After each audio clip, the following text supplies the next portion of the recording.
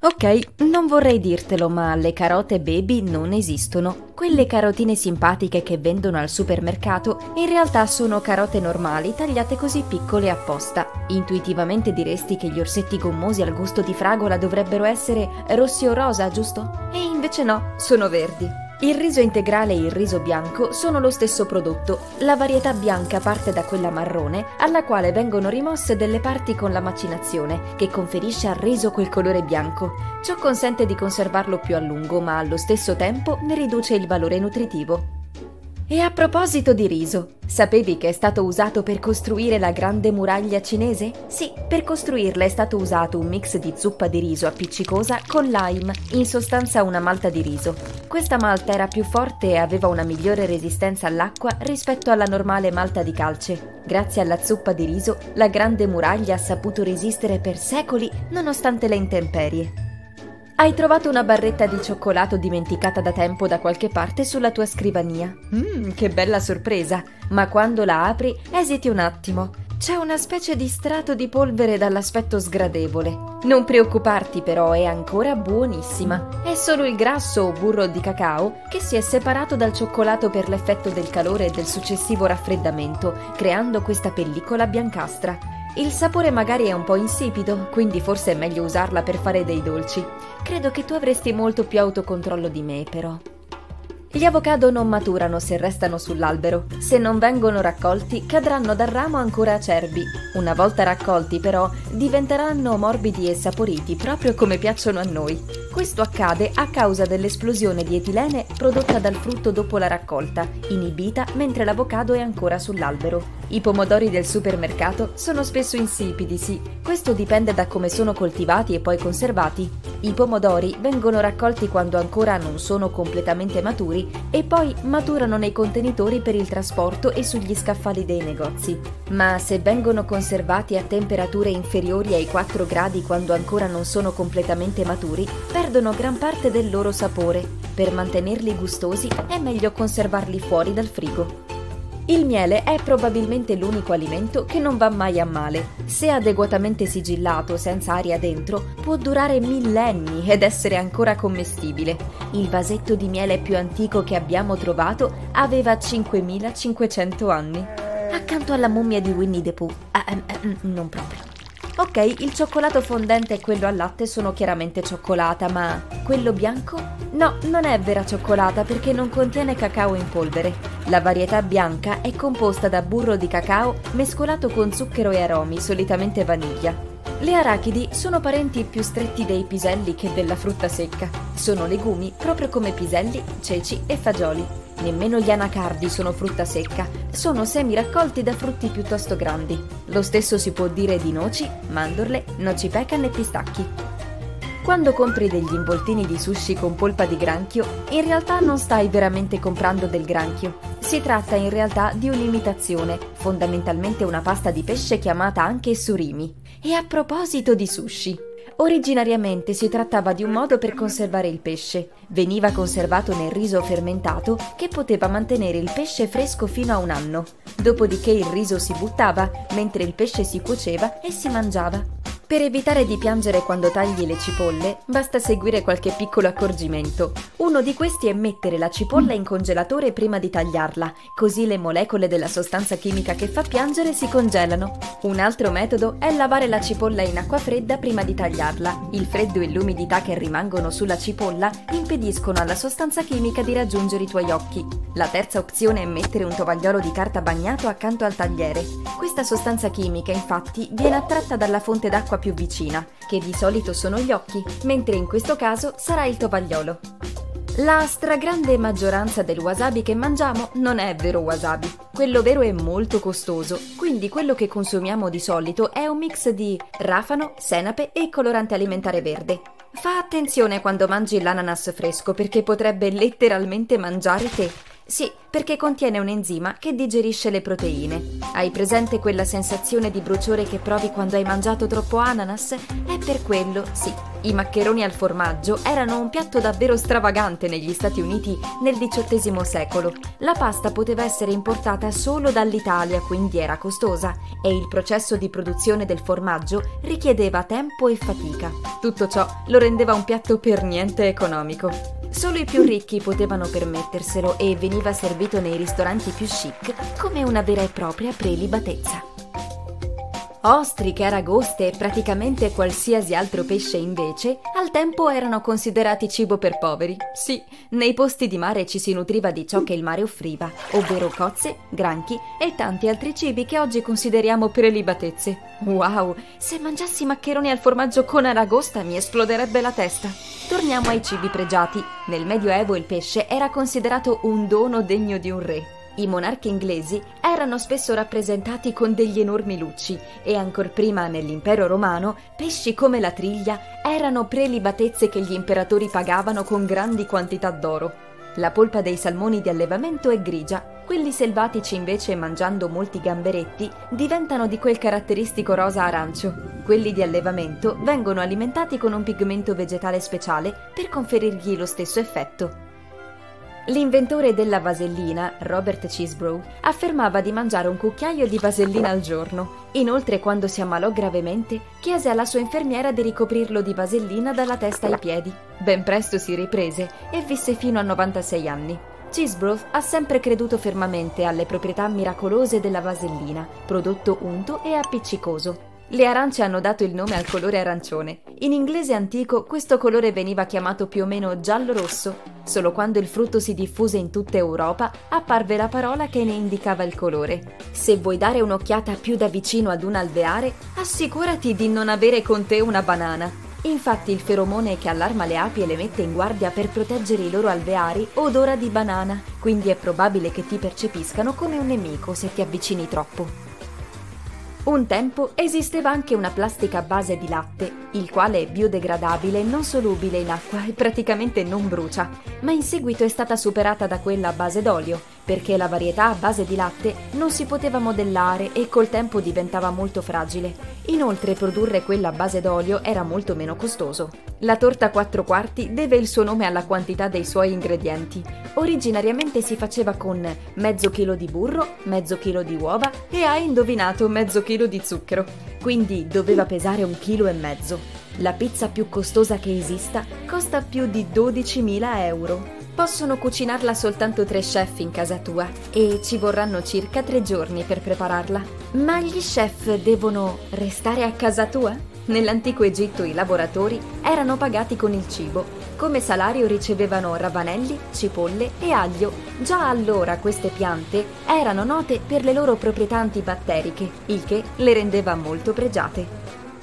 Sebbene il colore più diffuso del cavolfiore sia il bianco, esistono anche cavolfiori nella varietà di verde, arancione e viola.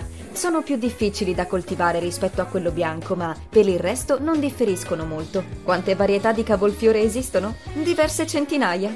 Per capire se un uovo è fresco, mettilo dentro una ciotola con dell'acqua. Se è fresco, scenderà rapidamente sul fondo, mentre se è cattivo, rimarrà a galla. Ehi, l'ultimo in fondo è cattivo.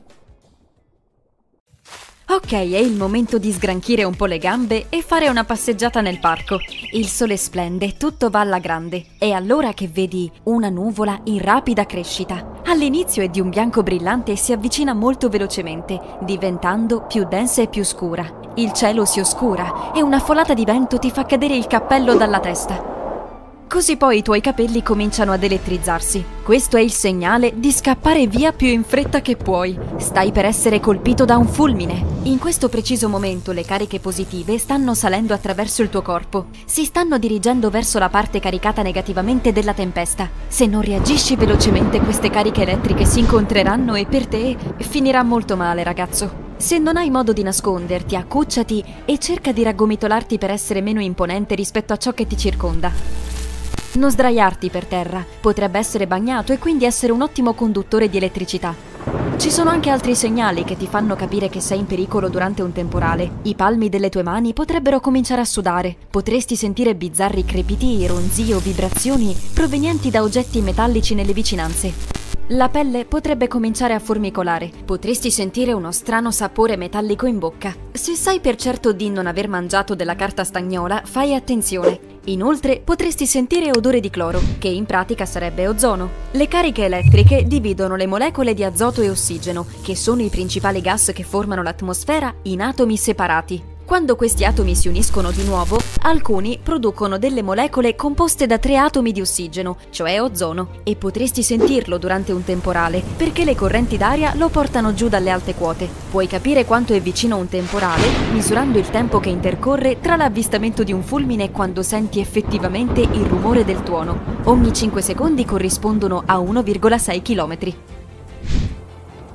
Il cielo sopra la tua testa si sta oscurando e diventa minacciosamente verde. Qualcosa ti colpisce sulla guancia. Ai, fa male! Così raccogli l'oggetto incriminato. È un enorme chicco di grandine, ma fuori non fa così freddo e non piove. Noti come tutto è immobile e silenzioso. Non c'è alcun vento e ti rendi conto che è calma piatta prima della tempesta. Infatti, presto senti un rumore, si sta avvicinando rapidamente e si trasforma in un forte ruggito, come se un treno merci si stesse muovendo verso di te. Solo che non è un treno, è un tornado e non hai tempo per scappare. L'imbuto non è visibile dietro una nuvola di detriti, ma non puoi confondere questa colonna d'aria rotante con nient'altro al mondo. Se il tornado dovesse raggiungerti mentre sei per strada, allontanati il più possibile dall'auto. Ciò impedirà che il veicolo venga lanciato verso di te. Trova un fosso, sdraiati e copriti la testa. Se sei dentro casa, allontanati dalle finestre e nasconditi sottoterra se possibile. Invece, diciamo che adesso sei in riva al mare, stai camminando lungo la riva e ti stai godendo una leggera brezza. All'improvviso il terreno comincia a tremare sotto i tuoi piedi. Deve essere un terremoto! La prossima stranezza che noti è l'acqua che si ritira dalla spiaggia a una velocità vertiginosa. Lascia il fondo dell'oceano esposto, la barriera corallina e persino i pesci. È allora che senti un ruggito in lontananza. Questo è uno tsunami e hai soltanto pochi minuti per salvarti la vita. Raggiungi subito un'altura perché un'onda gigante si sta dirigendo verso la riva. Forza! Questo non è l'unico modo in cui uno tsunami può insinuarsi. Non sempre si schianta contro la riva come una serie di enormi onde. Uno tsunami può sembrare anche una marea in rapida ascesa. Di solito va di pari passo con gravi turbulenze sottomarine, trascina le persone sotto la superficie e sposta oggetti pesanti con grande facilità. Puoi anche notare l'acqua che gorgoglia, vortica e crea schemi bizzarri. Questo è un altro segno dell'arrivo di uno tsunami, ovvero che il tuo cane si è irrequieto. Non sto scherzando, sta graffiando la porta d'ingresso, vaga per l'appartamento e cerca di nascondersi. Di solito è calmo e docile, mentre adesso ulula e abbaia. Negli ultimi giorni anche il clima è strano. Fa caldo un giorno e freddo il giorno dopo. Hai anche notato che il ruscello vicino casa è pieno d'acqua e fluisce velocemente. Soltanto quando i bicchieri cominciano a tintinnare dentro la credenza ti rendi conto di quello che sta accadendo. Il rumore è prodotto da scosse preliminari o piccoli terremoti d'avvisaglia, prima della grande tempesta. I terremoti si verificano spesso in serie. Se si verificano diversi terremoti deboli, uno molto più grande potrebbe essere in arrivo. Qualche tempo prima che il disastro colpisca potresti notare delle bizzarre luci blu. Alcune provengono dal terreno, altre invece dall'aria. Queste sono le cosiddette luci del terremoto. Sono causate dalle rocce che subiscono grande stress. Possono essere viste per giorni o pochi secondi prima del terremoto stesso, anche se c'è da dire che alcuni esperti non credono affatto alla loro esistenza. Se pensi che stia per accadere un terremoto e nel tuo acquario hai un pesce gatto, fai attenzione a come si comporta. Gli scienziati hanno dimostrato che questa specie può reagire ai tremori della Terra. Il pesce diventa irrequieto e sente che l'attività sismica è davvero elevata.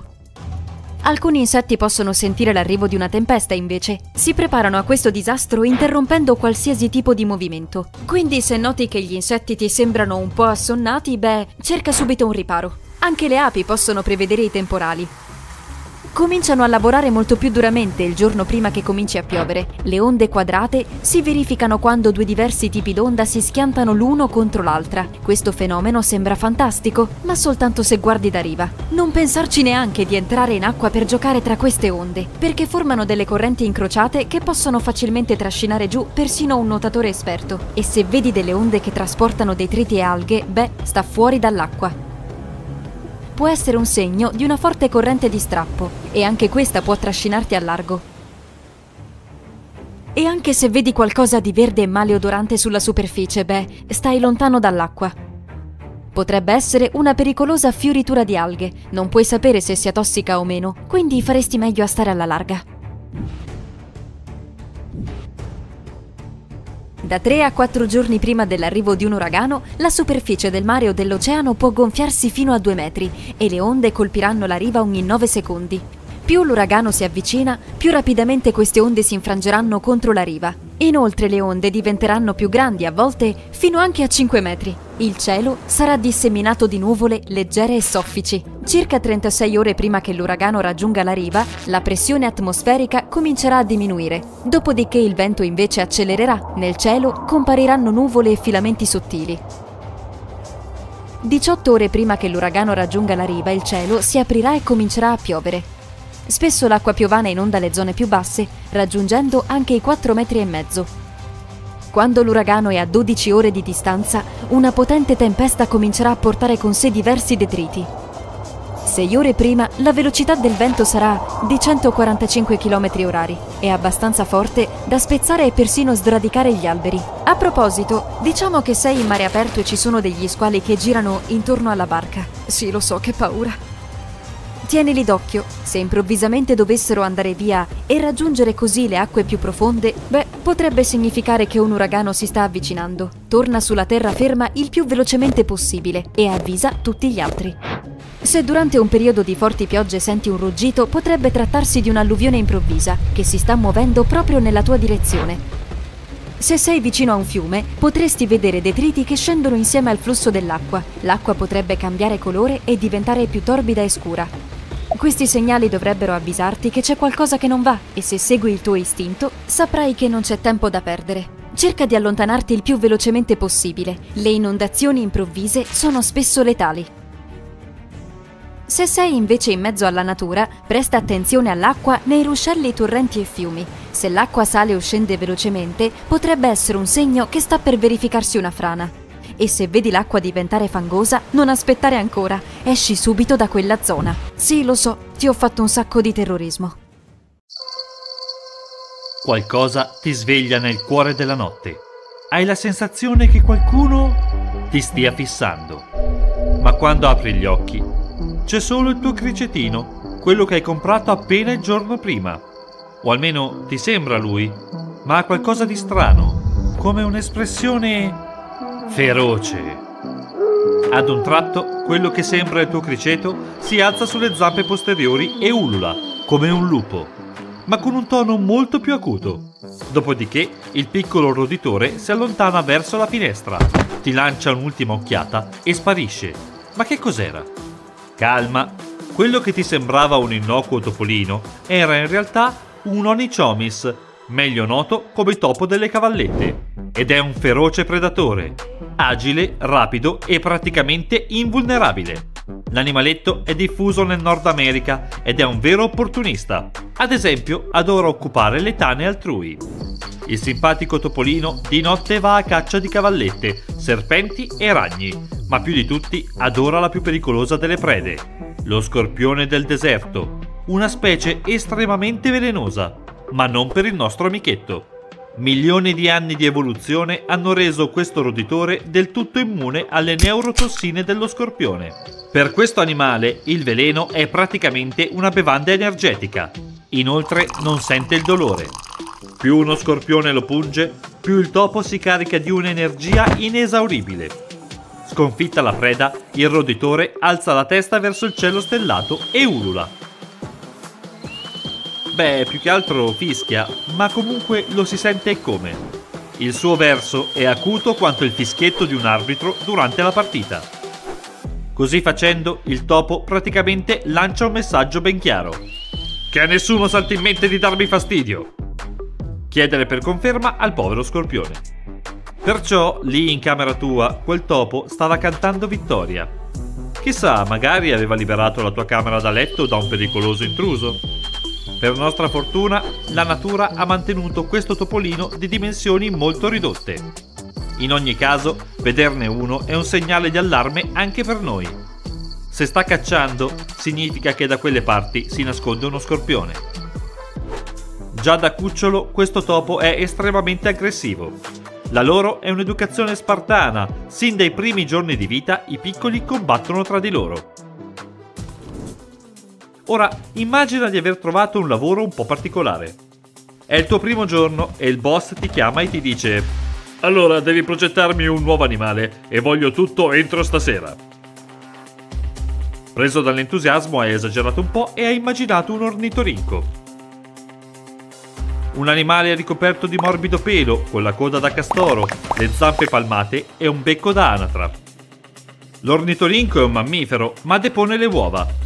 Quasi uno scherzo della natura. I maschi hanno persino uno sperone velenoso sulle zampe. Non è un veleno pericoloso per noi umani, ma meglio non correre rischi. Se quello sperone ti punge, una settimana di dolori lancinanti non te la toglierà nessuno. Parlando di animali con un gran caratteraccio, il campione assoluto è il tasso del miele. Somiglia a una puzzola, ma per così dire, una palestrata. E della puzzola ha anche il classico odore. Questo tasso pesa quanto un bambino sui due anni, ma non ha paura di nulla e di nessuno. Non importa chi sia il suo avversario, un serpente velenoso, due leoni, un branco di iene, di qualunque cosa si tratti, il tasso darà battaglia, uscendone spesso vincitore. Se vuoi del miele fresco, fatelo amico e distruggerà un alveare per te. Non ha la minima paura delle api. La sua pelle è talmente coriacea che le punture nemmeno le sente. Ha unghioni affilati e mascelle temibili. Il tasso del miele è diffuso in Africa, ma anche i suoi cugini americani ed europei hanno un pessimo carattere. Non sarà un peso massimo, ma un ghiottone non ci penserà due volte ad attaccare un orso o un alce. Questo carnivoro, grande quanto un cane di media taglia, reagisce alla minima provocazione. E non perde tempo. È un animale robusto, ottimo nuotatore e corridore instancabile. Le sue zampe fanno presa sulla neve e non c'è scampo nemmeno sugli alberi. Si arrampica con incredibile agilità. Il simpatico Vombato è un marsupiale e sembra quasi un orsetto di peluche.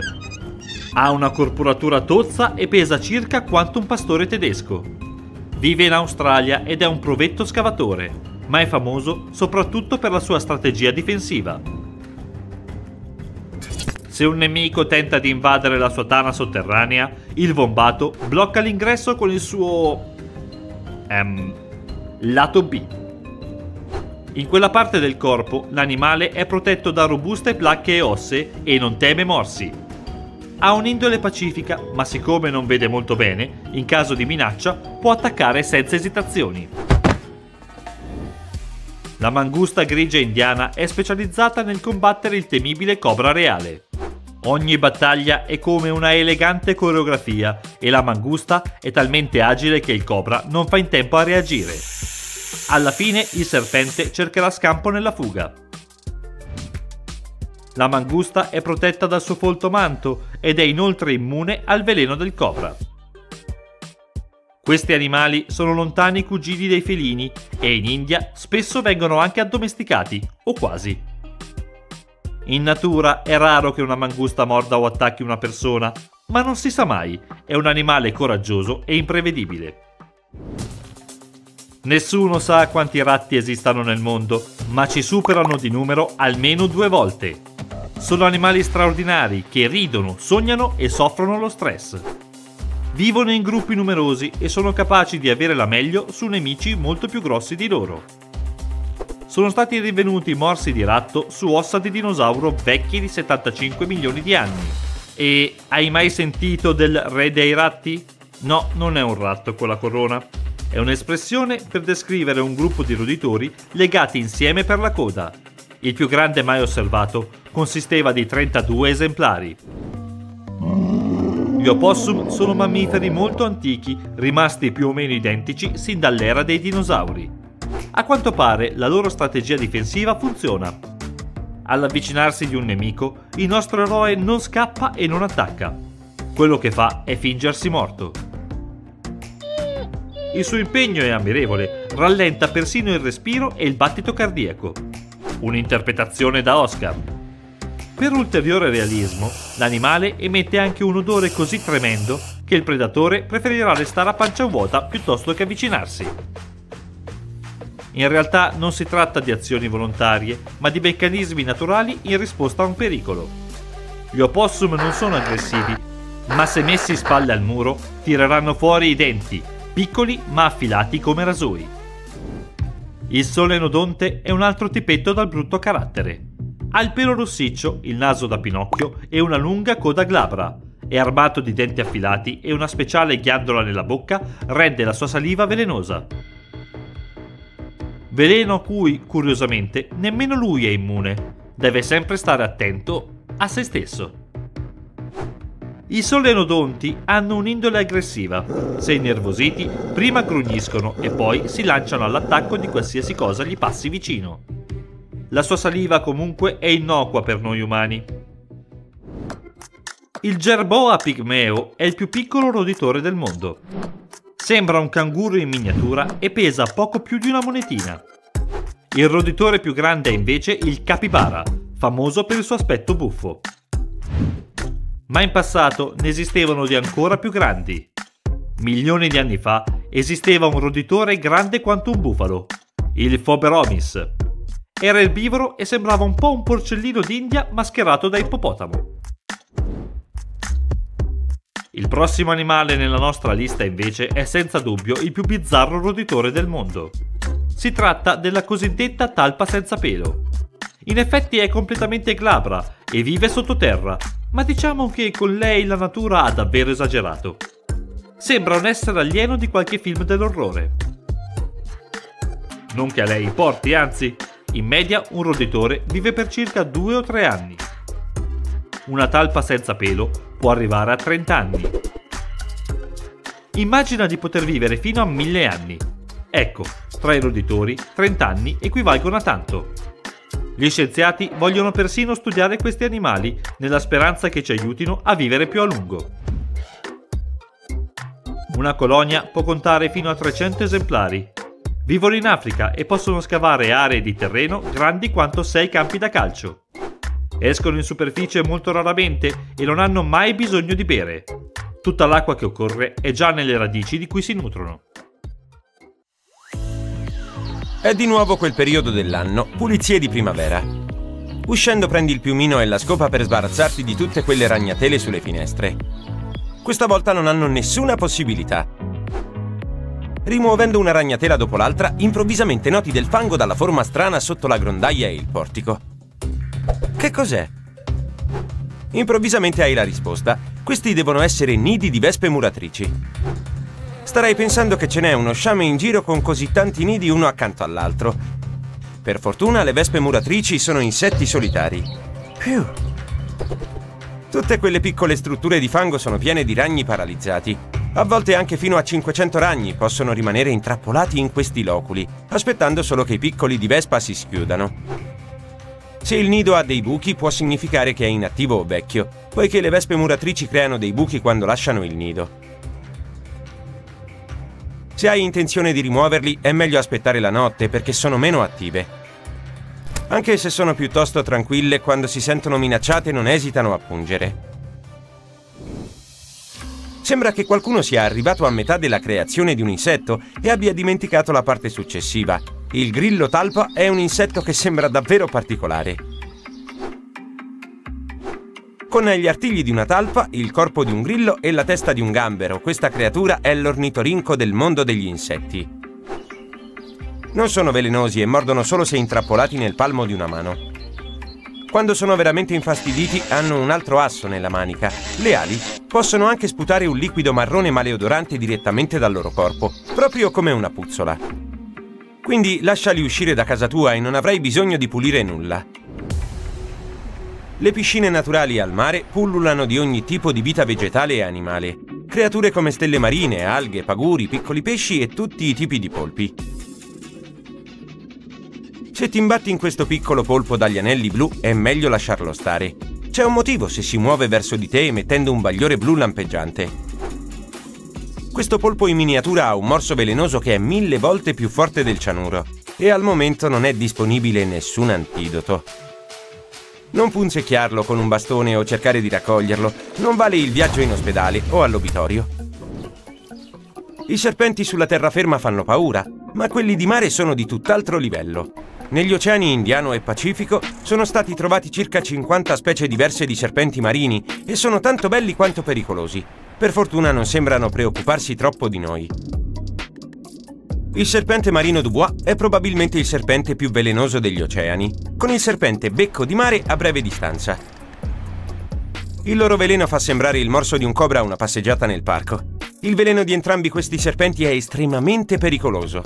Fortunatamente, qualora riuscissero a mordere qualche malcapitato attraverso la muta, il loro veleno può impiegare ore per causare sintomi negli esseri umani. Se vedessi questa mosca atterrare sul tuo braccio, beh, probabilmente urleresti un bel po' e non ti biasimerei.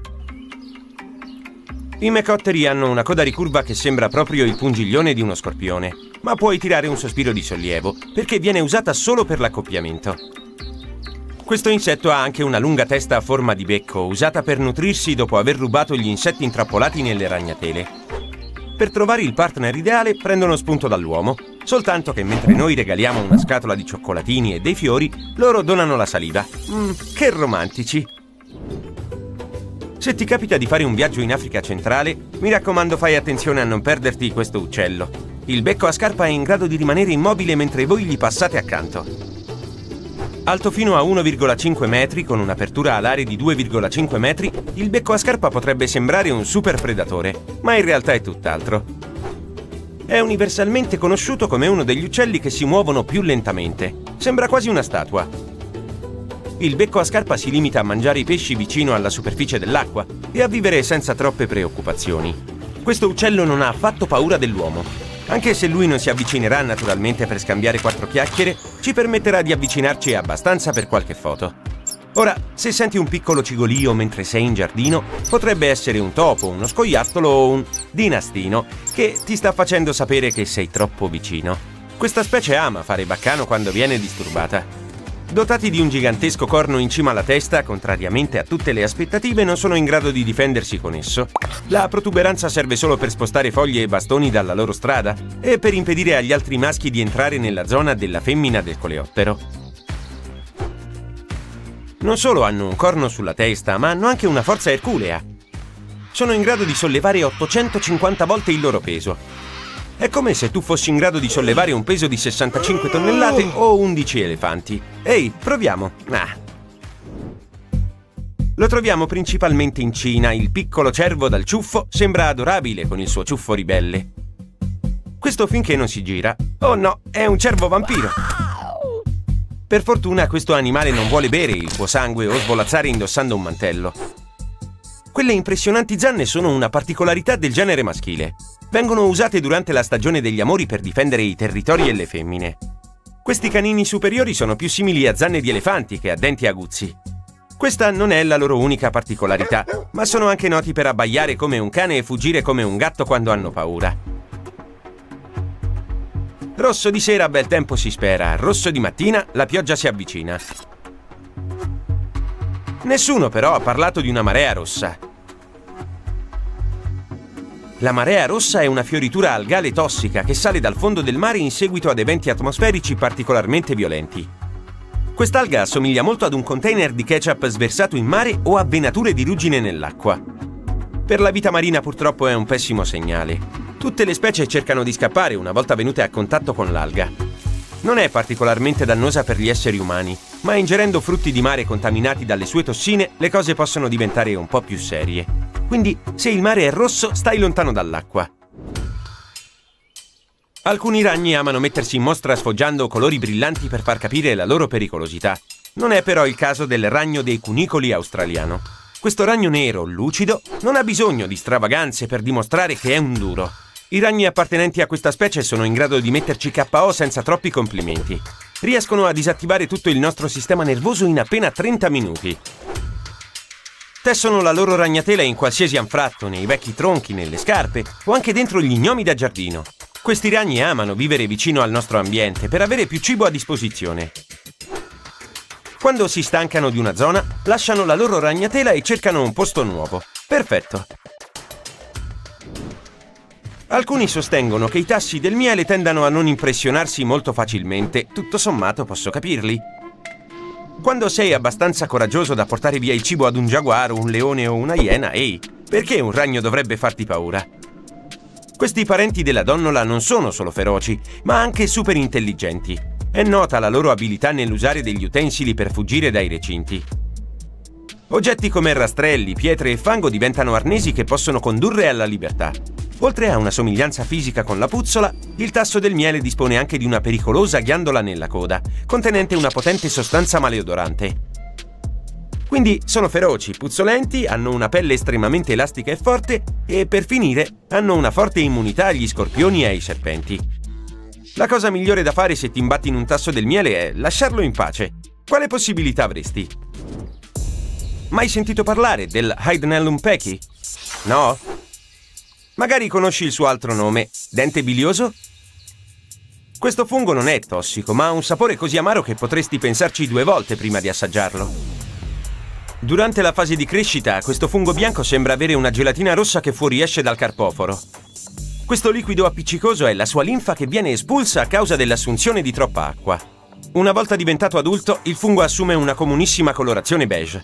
Sotto il cappello, dove vengono prodotte le spore, ha una struttura simile a un dente, tanto per renderlo ancora più strano. I diavoli della Tasmania hanno la reputazione di essere di cattivo umore quando sono minacciati da un predatore, quando combattono altri maschi o quando ottengono un posto a tavola per la cena. Sono soprannominati diavoli a causa dei denti sporgenti, degli attacchi improvvisi e di una delle grida più spaventose che potrai mai sentire nel cuore della notte. Inoltre mangiano praticamente tutto quello che gli capita sotto mano. Non sono soliti attaccare le persone, anche se si difendono quando vengono messi all'angolo. Dotati di un morso potentissimo, è meglio non esserne il destinatario. Meno male che anche i diavoli preferirebbero scappare. Succede ogni 43,8 secondi. Sto parlando dei furti d'auto negli Stati Uniti. Sì, ogni minuto qualcuno perde il proprio prezioso veicolo a causa dei malviventi. Se volete saperne di più su queste statistiche strazianti, eccovi accontentati. Solo nel 2020 sono stati denunciati oltre 800.000 furti d'auto e i pick-up Ford hanno vinto il premio per la miglior scelta dei malviventi, poiché sono stati i più rubati. Inoltre, il giorno di Capodanno ha registrato il maggior numero di furti. Sembra che tutti noi dobbiamo tenere d'occhio le nostre auto Prima di tutto, è molto improbabile che qualcuno possa rubarvi l'auto mentre siete in viaggio, ma una volta parcheggiata è molto più facile. Quindi è necessario parcheggiare in modo responsabile. Sì, a volte dovrete camminare un po' di più, ma ne vale la pena se questo significa lasciare l'auto in un luogo ben illuminato.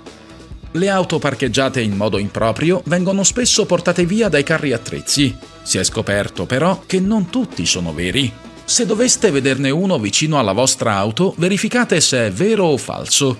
Un vero carro attrezzi dovrebbe avere almeno un marchio e il suo personale dovrebbe indossare un uniforme. Ricordate che vi ho detto che non è così facile rubare la vostra auto mentre siete in viaggio? Mi dispiace, ma è vero solo in parte. Ai ladri di auto non interessa il fatto che siate seduti nella vostra auto. Il trucco è semplice. Anche se siete all'interno del veicolo, assicuratevi sempre di chiudere a chiave le portiere.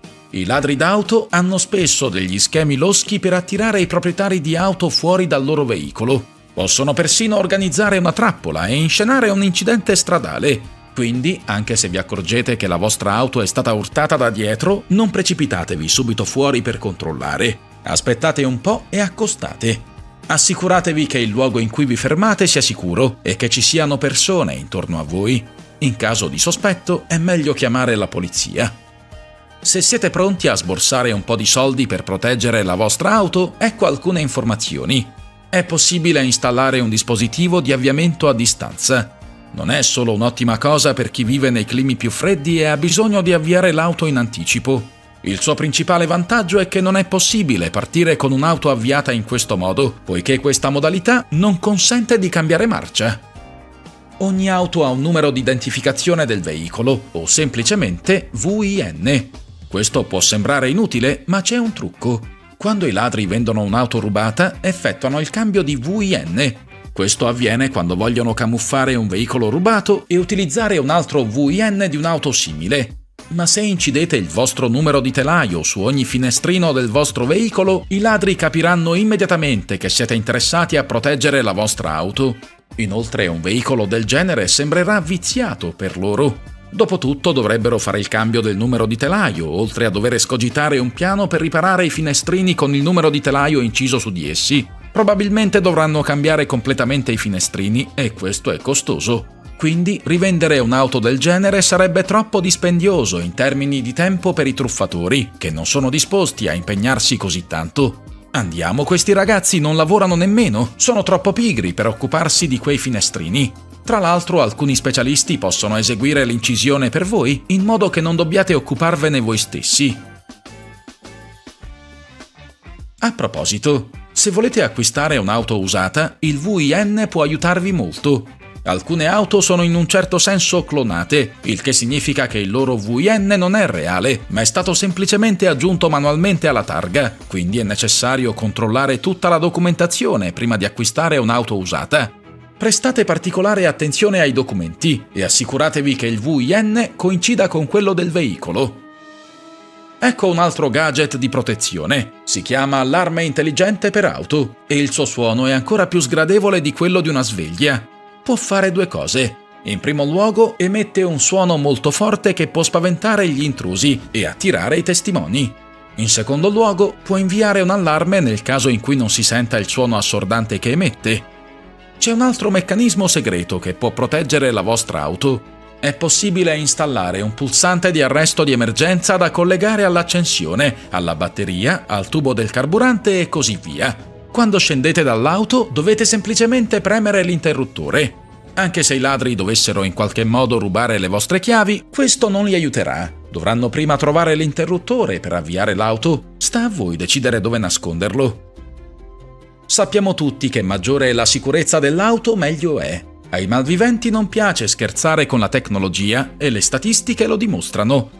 Le Tesla, insieme ad altre auto ad alta tecnologia, sono state quelle meno rubate negli ultimi anni. Tuttavia, moderno non significa sicuro e a prova di ladro. Molti veicoli moderni sono dotati di porte di diagnostica per la gestione del motore. Sembra molto comodo, ma c'è un lato negativo. Queste porte possono aiutare a sbloccare e persino avviare il veicolo. Quindi se la vostra auto è dotata di questa funzione, prendete in considerazione l'acquisto di una serratura con blocco. Controllate sempre di aver chiuso i finestrini prima di lasciare l'auto. Anche la più piccola fessura è sufficiente a un malvivente per aprire la portiera e rubare l'auto. Sì, non ditemi che è ovvio, vedo auto con i finestrini aperti ogni giorno. Se un malvivente vuole davvero farlo, può semplicemente rompere un finestrino con un oggetto pesante o addirittura con una pietra. Capite dove voglio arrivare? Cercate di non far desiderare ai malviventi di aprire la vostra auto. Ciò significa che non devono essere visibili oggetti di valore, quindi per favore niente laptop o borse sul sedile posteriore. Nascondeteli nel bagagliaio o portateli con voi, ci sono molte opzioni. Basta non mostrare ai ladri che c'è qualcosa che possono rubare dalla vostra auto. Anche tenere una chiave di riserva nel cruscotto non è la migliore idea. I truffatori sanno dove cercarla. È molto semplice. Dopo aver aperto l'auto, che non è poi così complicato, aprono il portaoggetti e sono liberi di guidare. Diciamo che tenete ancora gli oggetti di valore in macchina e una chiave di riserva nel portaoggetti. Vi piace così? Allora prendete in considerazione l'installazione di un bloccasterzo. Probabilmente non è molto funzionale, ma gli esperti ritengono che sia un deterrente visivo efficace. Ricordate che i ladri sono un po' pigri e non vogliono usare i vari gadget? Gli specialisti sostengono che i ladri sono più propensi a evitare un'auto dotata di un bloccasterzo. Alcuni di essi sono piuttosto funzionali, tra l'altro. Quindi, anche se un malvivente volesse comunque portare via la vostra auto, non ci riuscirebbe. Inoltre non è così facile rimuoverlo. Ora il consiglio più ovvio. Si tratta delle telecamere a circuito chiuso. Oggi esistono numerose telecamere di questo tipo. Sono dotate di modalità di visione notturna, funzioni di rilevamento delle persone e risoluzione molto elevata. Letteralmente tutto ciò di cui potreste aver bisogno. Una vera telecamera può aiutarvi a sorvegliare la vostra auto 24 ore su 24, 7 giorni su 7, ma se non avete voglia di spendere soldi per questo, potete installarne una fittizia e sperare che i ladri non la scoprano. Ok, immaginiamo il peggio. Qualcuno ha ignorato tutti questi semplici consigli e ha subito il furto dell'auto. Cosa deve fare? Innanzitutto deve fornire tutte le informazioni alla polizia. Assicuratevi di conoscere il colore. Lo so, è facile, ma non usate parole complicate per descrivere il colore dell'auto. Ad esempio, non è muschio, ma piuttosto verde scuro. È inoltre necessario conoscere l'anno, la marca e il modello. Assicuratevi di ricordarli tutti. La polizia dovrà anche conoscere il numero di targa e il VIN. Se non ricordate a memoria il numero di telaio, scrivete una nota sul telefono per sicurezza. Gli infiniti e caldi deserti sembrano a prima vista privi di vita, ma tra le loro dune si possono incontrare creature pericolose e inquietanti. Alcuni si limitano a causare problemi di salute, altre potrebbero rimanere impresse nella nostra memoria per sempre. Andiamo a conoscerle, iniziando da quelle pericolose fino alle più spaventose. Stai camminando nel deserto e vedi un grande orsacchiotto con gli arti spalancati. Capisci che probabilmente si tratta di un miraggio, ma ti avvicini. Avevi ragione, non è un peluche, ma un cactus gigante. C'è qualcosa di strano però. Con quella strana peluria i rami assomigliano alle zampe di un orsacchiotto. Ma non si tratta di peluria in effetti, sono migliaia di aghi sottili e sono il motivo per cui non ci si deve avvicinare. Il cactus è chiamato ciolla saltellante o ciolla orsacchiotto. Cresce nelle zone desertiche dell'Arizona e nella parte settentrionale del Messico. Non preoccuparti però, non è pericoloso, a meno che non lo tocchi. In quel caso si attaccherà alla tua pelle o vestiti. Questa pelliccia protegge il cactus dagli animali, crea ombra e lo protegge dal calore. I rami laterali sono le parti più importanti della pianta, poiché svolgono la fotosintesi e accumulano una grande quantità di umidità al loro interno. Quindi nonostante la sua pericolosità, il cactus può essere utile agli escursionisti del deserto. Il pericolo è rappresentato dagli aghi. Se li osservi meglio, vedrai che hanno la forma di uncini. Basta un tocco e centinaia di spine ti si infileranno nel dito. È piuttosto difficile liberarsene e gli aghi sono molto dolorosi. Ma la cosa più bella di questo cactus è il modo in cui si riproduce, moltiplicandosi in luoghi diversi. Quando animali e persone passano davanti al ciolla salterino e lo toccano, il cactus gli lascia addosso un piccolo pezzo di sé, oltre agli aghi. Non appena questo pezzo finisce a terra, mette radici e inizia a crescere. Il prossimo mostro del deserto sta correndo verso di noi. È uno struzzo. Molti pensano che questi animali siano dei codardi che nascondono la testa sotto la sabbia. Ma di sicuro cambieresti idea se avessi la sfortuna di incontrarne uno. Di solito gli struzzi non sono aggressivi, ma se ti avvicini al loro nido, meglio scappare. Non è che tu abbia grandi possibilità di allontanarti, perché gli struzzi si muovono a una velocità di 70 km h Per sfuggirli è necessaria un'auto. Gli struzzi di solito corrono e colpiscono il nemico con il petto. Ci sono persino stati casi in cui hanno attaccato dei furgoni, causandogli danni significativi. Ma il pericolo principale di questi uccelli è rappresentato dalle loro potenti zampe con artigli affilati gli consentono di sferrare colpi fortissimi ai loro avversari. Quindi sì, se vedi uno struzzo in lontananza, cambia strada. Questa piccola lucertola maculata vive quasi sempre sottoterra nei deserti aridi degli Stati Uniti sud-occidentali e del Messico nord-occidentale. A volte esce all'aperto per cercare cibo. Sembra carina, ma in realtà è il pericoloso mostro di Gila. La sua pelle spessa protegge il rettile da falchi, coyote e altri predatori. Ma la sua principale protezione è il veleno. Serpenti e ragni iniettano le loro tossine usando lunghe zanne simili ad aghi. Il mostro di Gila stringe e mastica la preda per diffondere il veleno. E quando morde una persona può tenere le fauci chiuse per molto tempo. Sbarazzarsene è un'impresa difficile.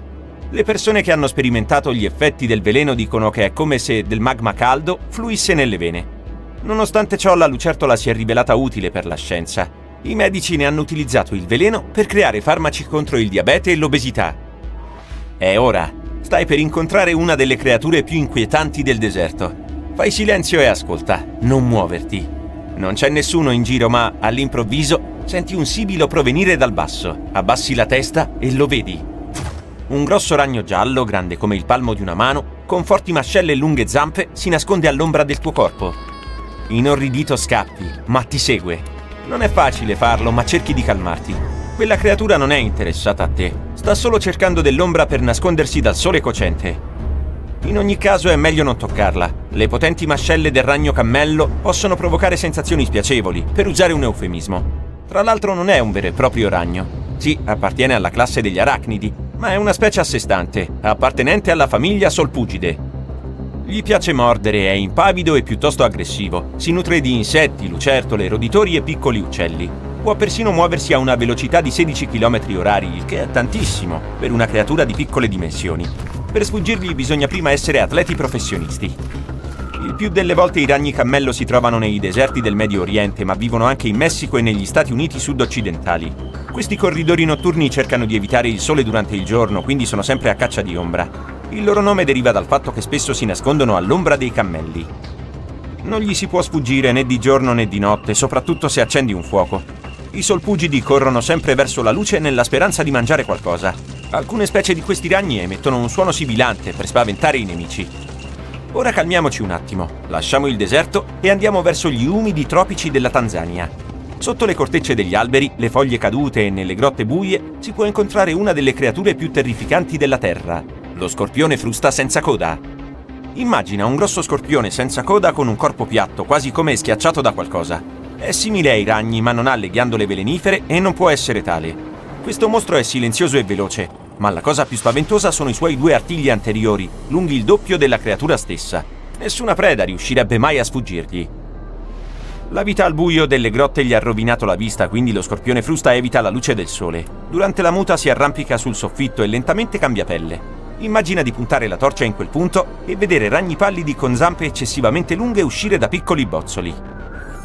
Se mai dovessi trovarne uno, mantieni la calma e allontanati il più lentamente possibile. Fai attenzione, essendo così piatto quello scorpione può strisciarti sotto i vestiti in un secondo e morderti ovunque. E il peggio deve ancora venire. Ok, scherzo, si tratta di una delle creature più timide e innocue tra i ragni e gli scorpioni.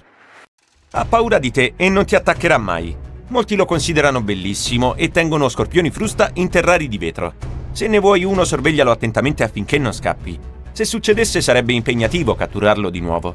In pochi istanti potrebbe infilarsi sotto il letto o passare tra le fessure del pavimento. Poi attraverso il sistema di ventilazione potrebbe raggiungere l'appartamento dei vicini e spaventarli.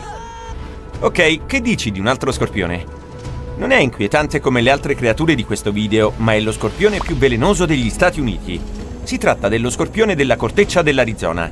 Il problema è che lo si può trovare nei deserti, in casa o in giardino. Questi pericolosi animali strisciano nelle abitazioni e mordono le persone. Una sola volta è sufficiente a provocare dolore come una puntura d'ape. Ma chi è allergico può andare incontro a paralisi, problemi respiratori e altri problemi di salute.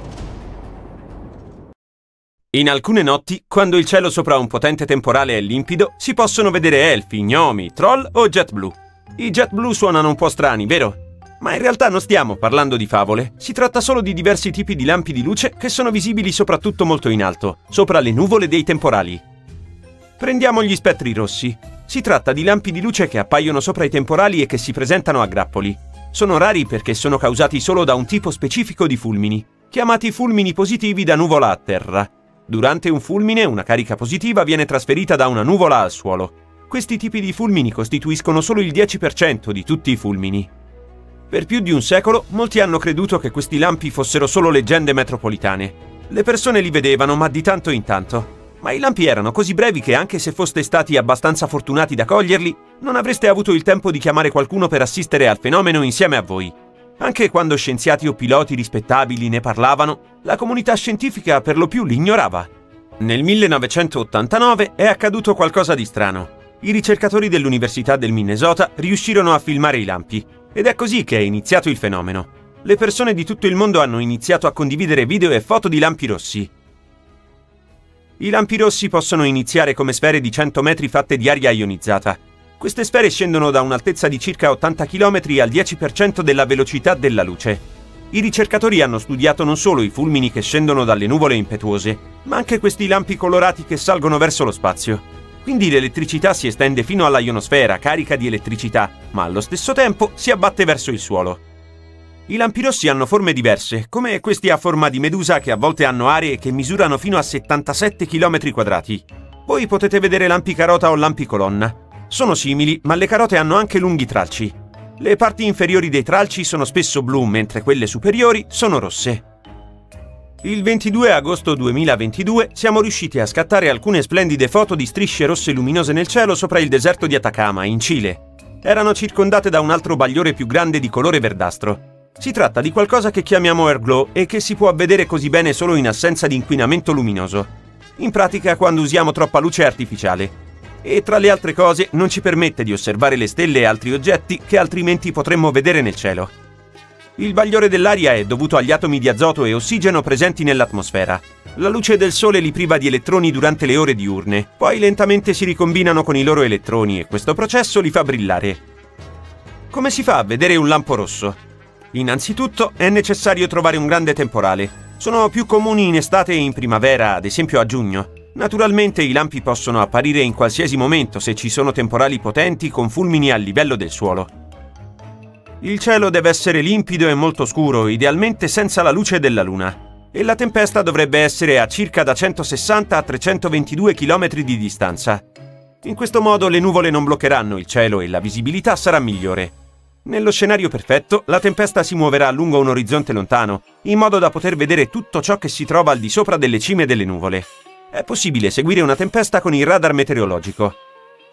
Gli occhi hanno bisogno di un po' di tempo per adattarsi all'oscurità circostante. Concedete loro un po' di tempo, circa 20-30 minuti. Tenete gli occhi al di sopra delle nuvole e cercate di non guardarle direttamente. Ignorate i lampi di luce. Un lampo rosso apparirà forse una volta ogni 200 lampi. Non aspettatevi di poterlo riprendere con la macchina fotografica, non è facile, ma la vista in sé varrà probabilmente l'attesa.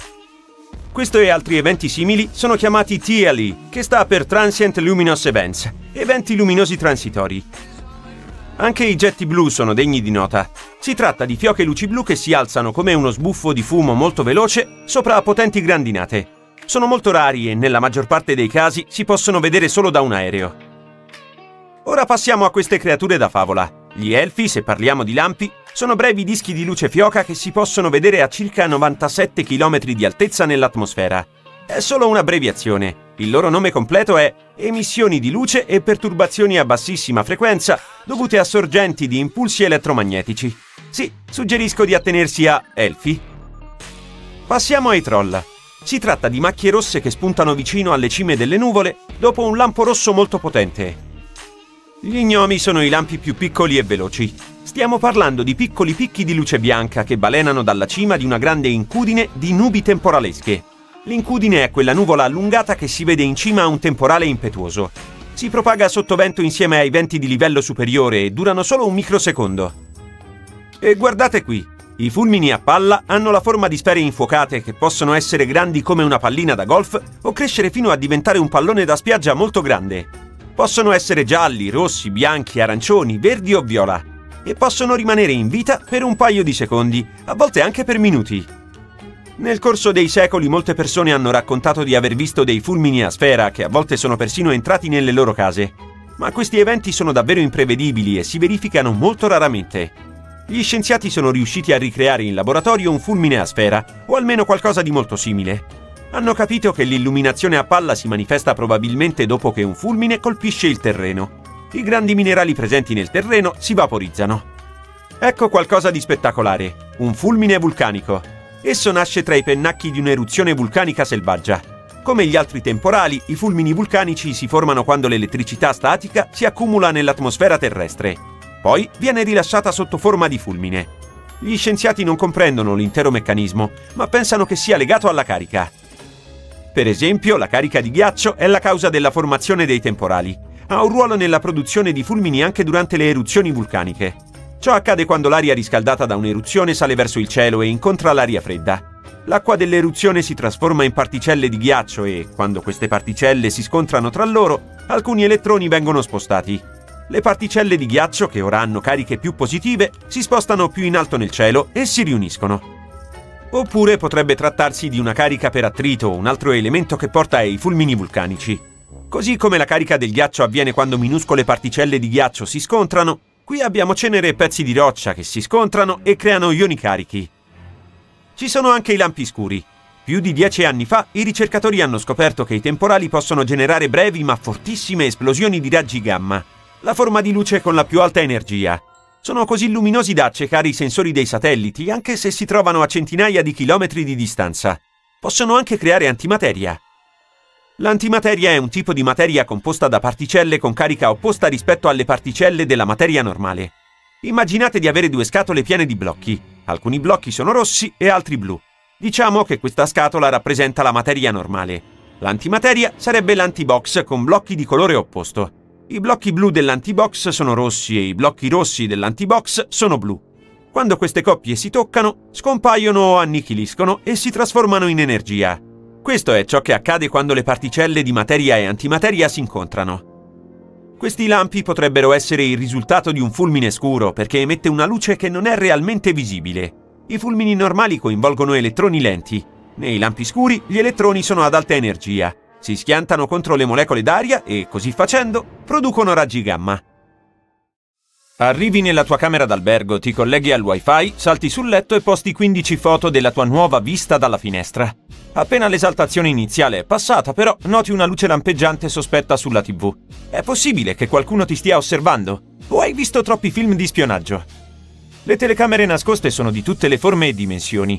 Quelle grandi sono facili da individuare, ma quelle piccole possono essere davvero subdole e poco appariscenti. Possono nascondersi dietro i mobili, nelle decorazioni o nelle prese d'aria. Esistono anche telecamere speciali che possono essere nascoste in oggetti mobili di uso quotidiano, come sveglie, cornici, basi e lampade. Controlla se questi oggetti sono posti in una strana angolazione o in modo da ottenere la migliore visuale del letto o del bagno. Il modo più semplice per individuare una telecamera nascosta è cercare il riflesso dell'obiettivo, perché tutte le telecamere sono dotate di lenti. Spegni le luci e scansiona lentamente la stanza con una torcia, un puntatore laser o uno speciale rilevatore di telecamere wireless. È dotato di luci a infrarossi e di una torcia. Quando trovi un puntino rosso riflettente, accendi la torcia per verificare la presenza di una telecamera nascosta. Controlla le prese d'aria e qualsiasi altro buco o fessura nelle pareti o nel soffitto. Alcuni rilevatori avanzati mostrano anche ciò che vede la telecamera, facilitandone l'individuazione e la disattivazione. Tuttavia i rilevatori funzionano solo su telecamere accese e funzionanti. Anche il cellulare può aiutarti a trovare minacce nascoste. Attiva il Bluetooth e gira per la stanza. Verifica se sullo schermo compaiono dispositivi sconosciuti. Un'altra idea è installare un'applicazione per la scansione della rete che mostri tutti i dispositivi connessi al wifi dell'hotel. Una volta terminata, studia l'elenco alla ricerca di dispositivi denominati IP camera o cam. Puoi anche impostare il telefono in modalità selfie, spegnere la luce, chiudere le tende e guardare lentamente intorno alla stanza concentrandoti sullo schermo. Cerca luci viola o bianche sullo schermo. Puoi giocare un po' a fare il detective, chiamare un amico o un familiare e iniziare a girare per la stanza. Le telecamere segrete dovrebbero emettere una sorta di radiofrequenza. È probabile che interferisca con il segnale delle chiamate telefoniche. Se al telefono senti strani rumori in una certa area della stanza, assicurati di ispezionarla. Controlla gli interruttori della luce, le prese elettriche, le lampade e altri oggetti a cui normalmente non faresti caso. Se sembrano un po' storti, fuori posto o hanno un buco, potrebbe essere un segno che qualcuno li ha manomessi. Molti dispositivi di spionaggio hanno bisogno di cavi e chi li ha installati deve averli nascosti, magari dietro il battiscopa. Ecco perché il punto in cui il pavimento e la parete si incontrano è da controllare. La presenza di creste, protuberanze o scolorimenti potrebbe indicare che vi si nasconde un microfono. Lo stesso vale per le macchie sui soffitti e pareti, anche se non più grandi di una moneta. Se trovi una telecamera nascosta o qualcosa di sospetto, non tirarti indietro e informa l'amministrazione dell'hotel o l'agenzia che sia occupata della prenotazione. Non toccare o spostare il dispositivo. Se l'hotel nega tutto, contatta le forze dell'ordine. Dopo aver esaminato la stanza alla ricerca di telecamere, controlla gli specchi. Qualcuno potrebbe osservarti dall'altro lato. Per prima cosa, verifica se lo specchio è integrato nella parete o se può essere spostato. Se lo specchio è semitrasparente, sarà integrato nella parete. Per controllare fai un semplice test. Premi il polpastrello contro il vetro con abbastanza forza da lasciare un'impronta quando allontani il dito. Studiala. Se c'è un piccolo spazio tra l'impronta e lo specchio nel punto in cui dovrebbe esserci il vetro, allora si tratta di uno specchio. Su uno specchio semitrasparente non ci sarà spazio. Un altro modo per verificare se lo specchio è semitrasparente è dare un colpetto al vetro. Se qualcuno ti osserva dall'altra parte, lo specchio emetterà un suono vuoto. Un doppio specchio necessita di una luce più intensa dall'altro lato rispetto al tuo. Avvicinati e metti le mani intorno agli occhi. Vedi una luce dietro lo specchio? Se sì, è possibile che ci sia un pubblico indesiderato. Prima di lasciare la stanza o andare a letto, assicurati che ogni porta sia ben chiusa. E non intendo solo l'ingresso della stanza, ma anche la porta che conduce al balcone, se ne hai uno. Puoi portare con te un lucchetto portatile per sentirti più sicuro se rimani in stanza. Potresti anche fare da te e avvolgere una cintura o la cinghia di una borsa intorno alle maniglie della porta. Allacciala e avvolgila più volte per avere maggiore protezione. Un'altra idea per quando stai per andare a dormire è costruire una piramide di oggetti vicino alla porta. Bicchieri e tazze vanno benissimo. Se qualcuno cerca di entrare mentre stai dormendo, farà un bel rumore. Gli intrusi preferiscono mantenere un basso profilo, quindi è molto probabile che rinuncino subito a derubarti. Se viaggi con degli oggetti di valore e non ti senti a tuo agio a lasciarli in giro per la stanza, potresti metterli nella cassaforte della camera. Ma poiché queste cassaforti usano codici di accesso invece di serrature fisiche, qualcuno dell'hotel deve conoscere il codice principale per sbloccarle per sicurezza. Quindi porta la tua cassaforte. Su Amazon, ad esempio, se ne trovano alcune dall'aspetto di libri.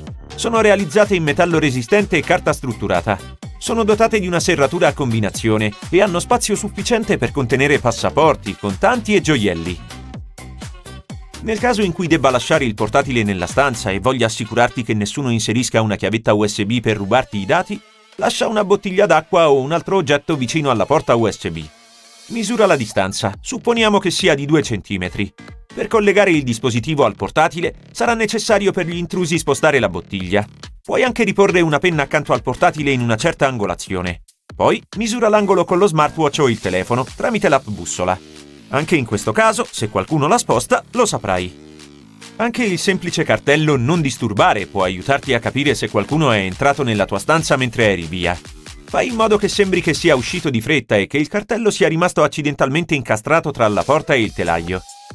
Se torni e il cartello è appeso liberamente, qualcuno deve averlo ignorato e deve aver cercato di disturbarti. In questo caso contatta la reception e chiedi che qualcuno entri in stanza con te per sicurezza. Se tieni alla pulizia della camera tanto quanto alle tue cose e alla sicurezza personale, questa è per te. Gli addetti alle pulizie degli hotel hanno normalmente fino a 20 camere da gestire in un turno di 8 ore. Ciò significa che non avranno più di 30 minuti per la tua camera. Hanno tempo a sufficienza per rifare il letto, pulire i pavimenti della stanza e del bagno, svuotare i cestini e spolverare le superfici. Raramente hanno il tempo di occuparsi di oggetti più piccoli come gli interruttori della luce, le maniglie e i telecomandi. Eh sì, sono proprio gli oggetti con cui si entra più a contatto. Possono contenere più germi della toiletta. Quindi, se vuoi essere sicuro che non ti finiscano sulle mani, porta con te un numero sufficiente di salviette antibatteriche per pulire questi oggetti prima di toccarli. Un tramonto viola. Devi averne visto uno almeno una volta nella vita. Normalmente non è niente di minaccioso e ha a che fare con il modo in cui viaggia la luce. La luce che produce il sole è bianca.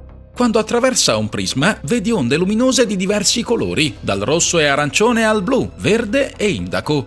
La luce normalmente viaggia in linea retta se non ci sono ostacoli sulla sua strada. Le onde luminose più corte, comprese quelle blu e viola, si disperdono più facilmente quando incontrano quegli ostacoli, come le molecole nell'atmosfera. Poiché il Sole è basso sull'orizzonte al tramonto e all'alba, la sua luce deve passare attraverso più molecole che disperdano la luce viola e blu. I colori che i tuoi occhi colgono sono giallo, arancione e rosso, ma con le giuste condizioni puoi vedere lo splendido cielo viola. A volte il cielo viola appare per motivi molto più spaventosi. Può essere causato da uragani, incendi o tempeste di polvere. La concentrazione di vapore nell'aria aumenta e la luce si disperde più del solito. Anche la polvere, il sole al tramonto e le nuvole basse contribuiscono a questo spettacolo naturale. Il cielo diventa arancione e rosso al tramonto se c'è abbastanza luce, poi emana sfumature rosa che si confondono con un cielo blu scuro. Ora, ti ricordi cosa succede quando mescoli il rosa e il blu? Ottieni il colore viola.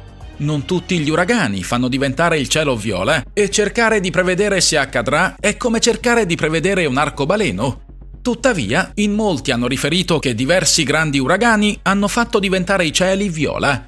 I cieli verdi possono sembrare spettacolari quanto quelli viola, ma in realtà gridano anche al pericolo. Di solito sono lì per dirti che un temporale, una grandinata o un tornado è nelle vicinanze.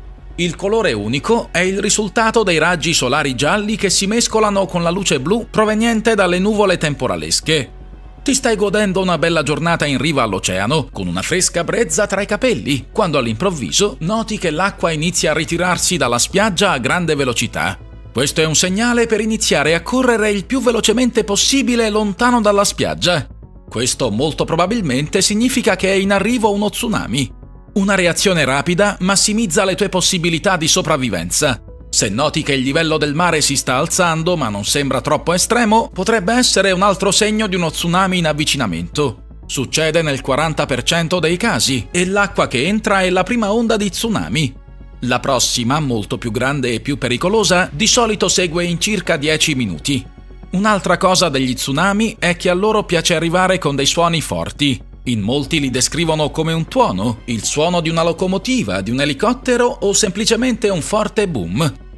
Vedi un canale sulla spiaggia? È nel tuo interesse stare lontano dall'acqua. Potrebbe esserci una corrente di strappo sotto la superficie che può essere estremamente pericolosa. A volte le onde colpiscono la riva in un modo strano che forma queste correnti di strappo.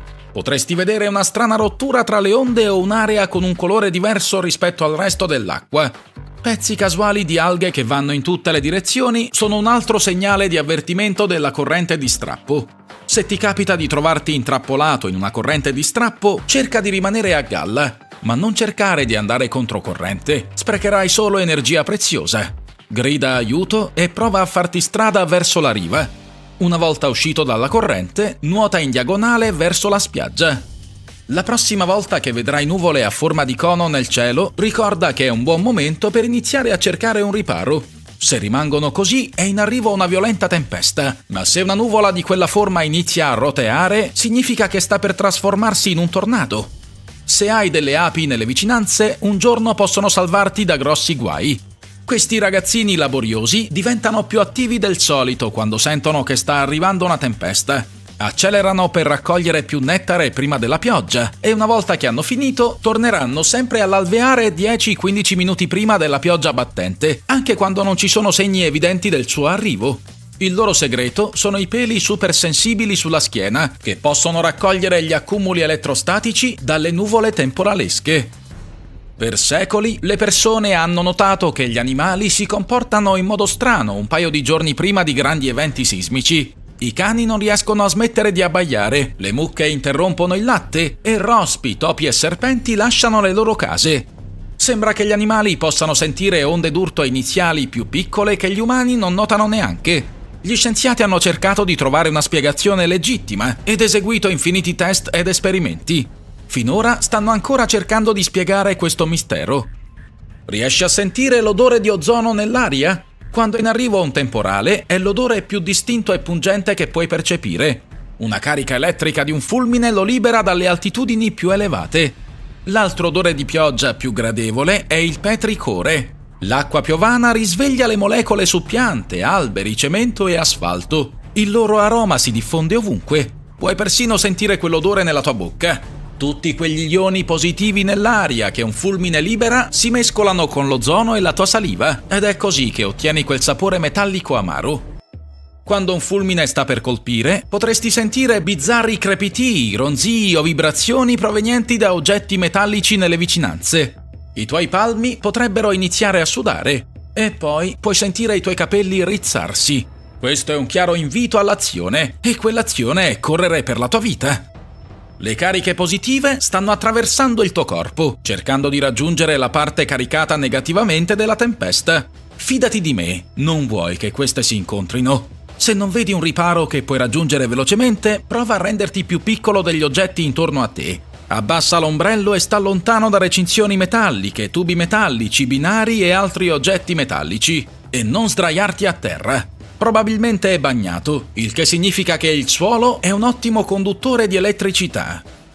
Se improvvisamente noti delle fessure nell'asfalto vicino a casa tua, potrebbe essere un segnale di avvertimento di dolina.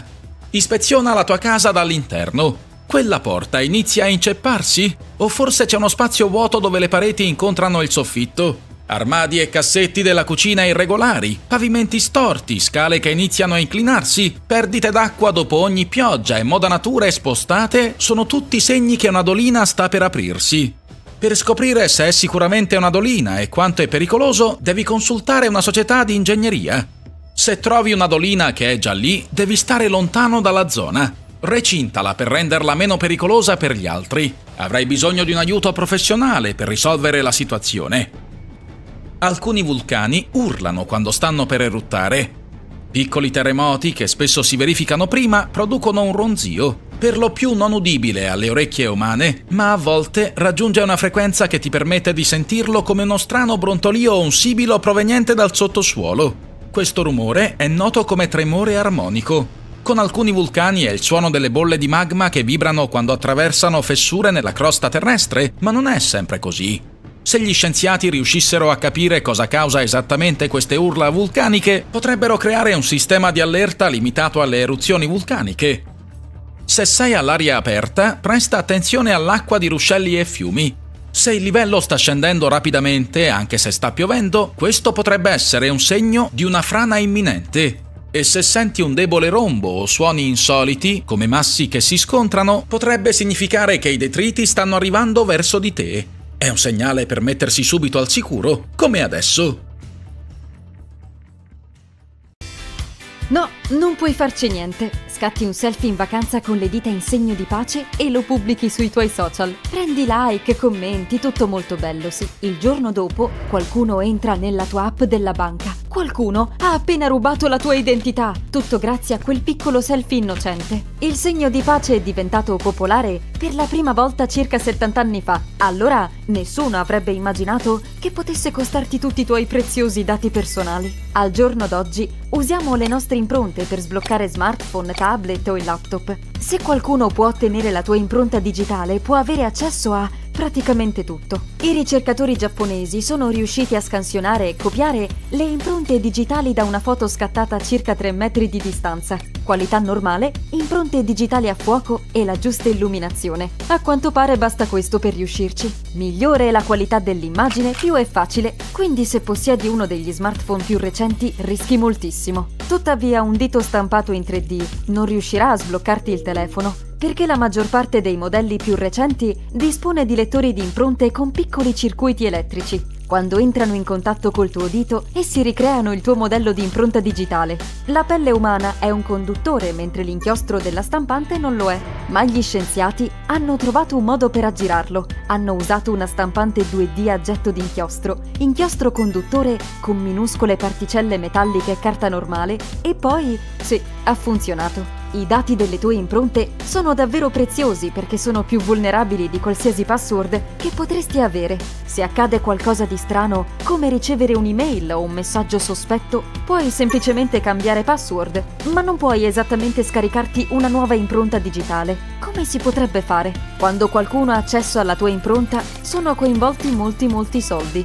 Sfortunatamente sì, sono i tuoi. I criminali informatici possono arricchirsi con questo tipo di dati, sai? Probabilmente usi il pollice per accedere alle app, comprese quelle bancarie, ma lì ci sono soldi e informazioni personali in palio e al miglior offerente. Se qualcuno ha accesso alla tua cartella clinica, può ordinare attrezzature costose a tuo nome e rivenderle in seguito. Oppure possono semplicemente andare dal medico o dal dentista in modo gratuito. La buona notizia è che gli scienziati ci stanno lavorando su. Hanno inventato un adesivo su cui è impresso un modello di pattern di dita finte. Impedirà alle persone di rubare la tua identità, ma ti consentirà comunque di utilizzare la tua impronta per sbloccare i tuoi dispositivi. Però, mi spiace, ci stanno ancora lavorando. Un'altra opzione è il rilevamento della vitalità. Dopo che il telefono ha letto l'impronta, ti chiede di annuire, ammiccare o sorridere. In questo modo il telefono riconosce l'impronta allegata a te, una persona reale. Non c'è modo di riprodurre una cosa simile. Se ogni volta ti viene spontaneo fare il segno di pace con le dita,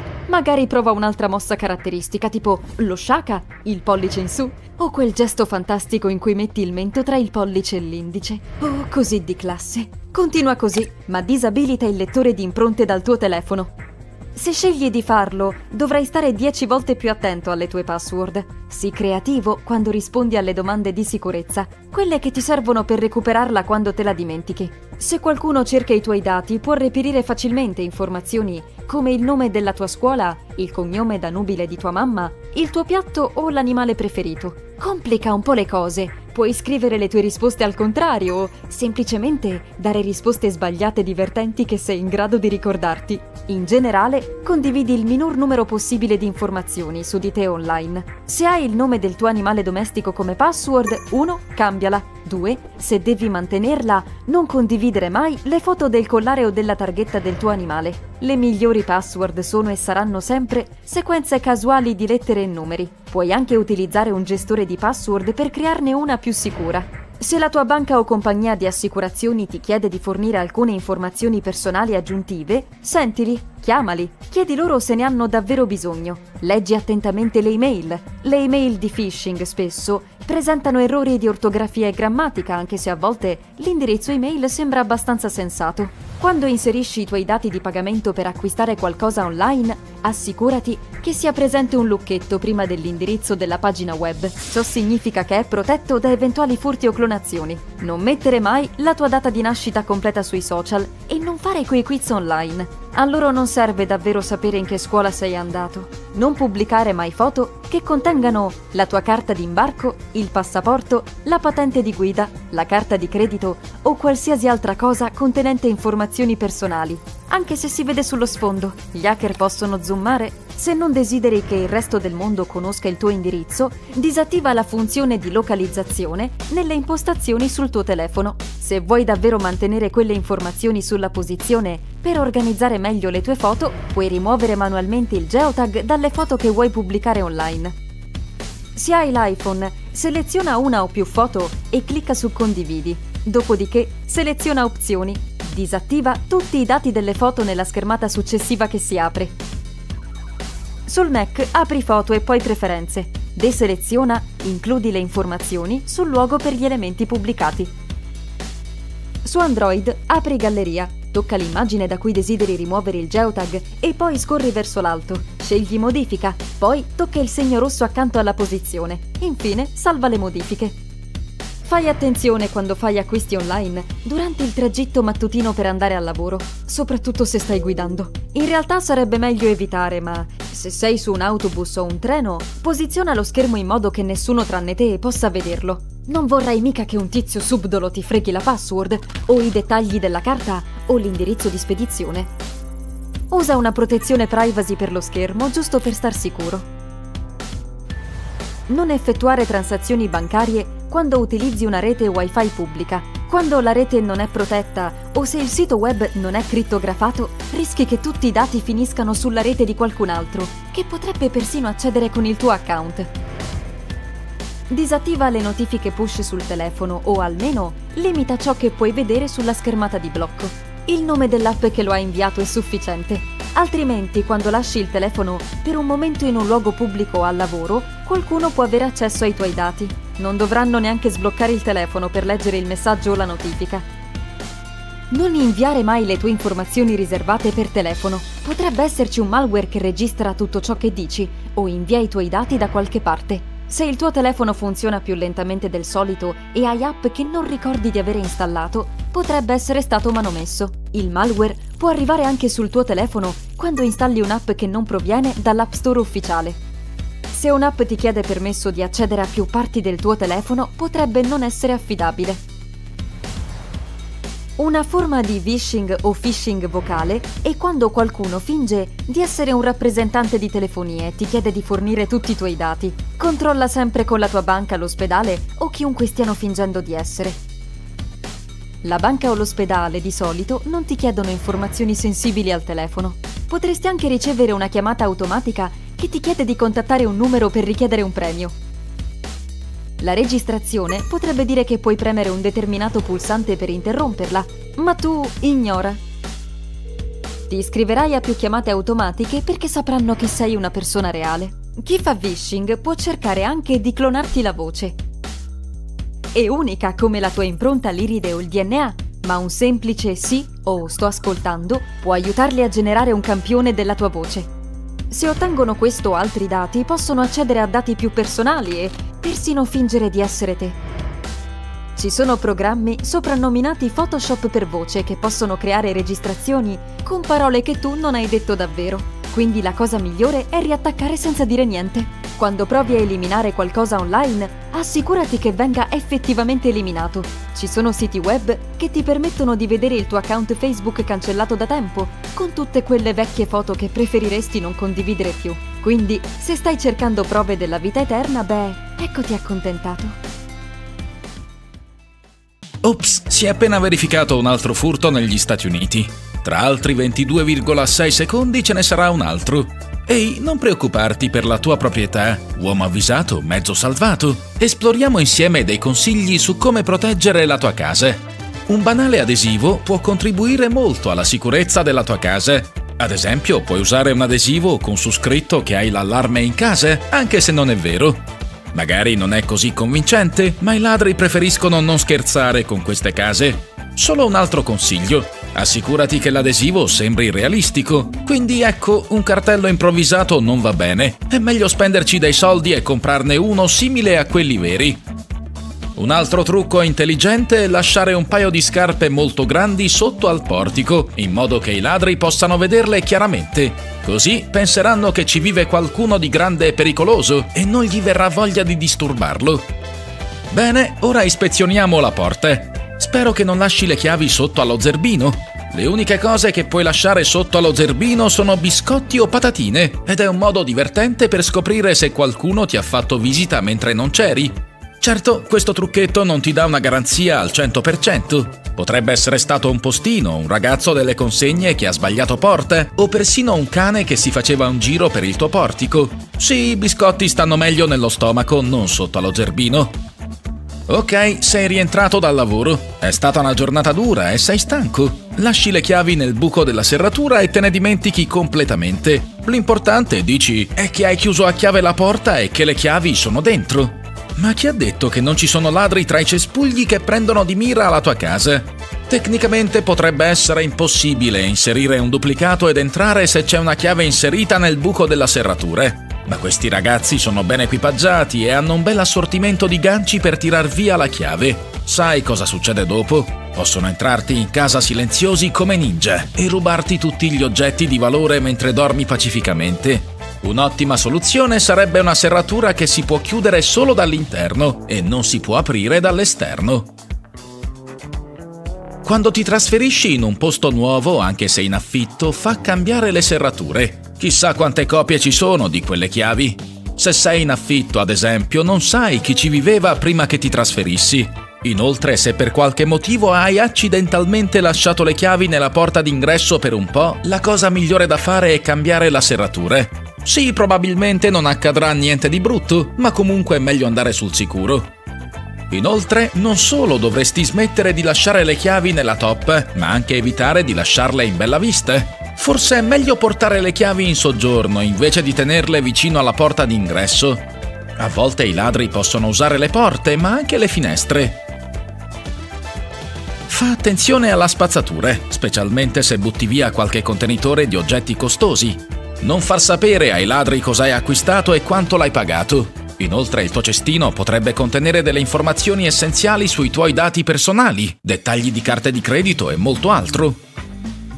Tieni d'occhio la cassetta della posta. Tienila chiusa con un lucchetto perché i ladri potrebbero essere piuttosto interessati al suo contenuto. Il segreto è semplice. Tieni chiusa la casella di posta e assicurati di distruggere tutti i documenti relativi ai tuoi dati personali.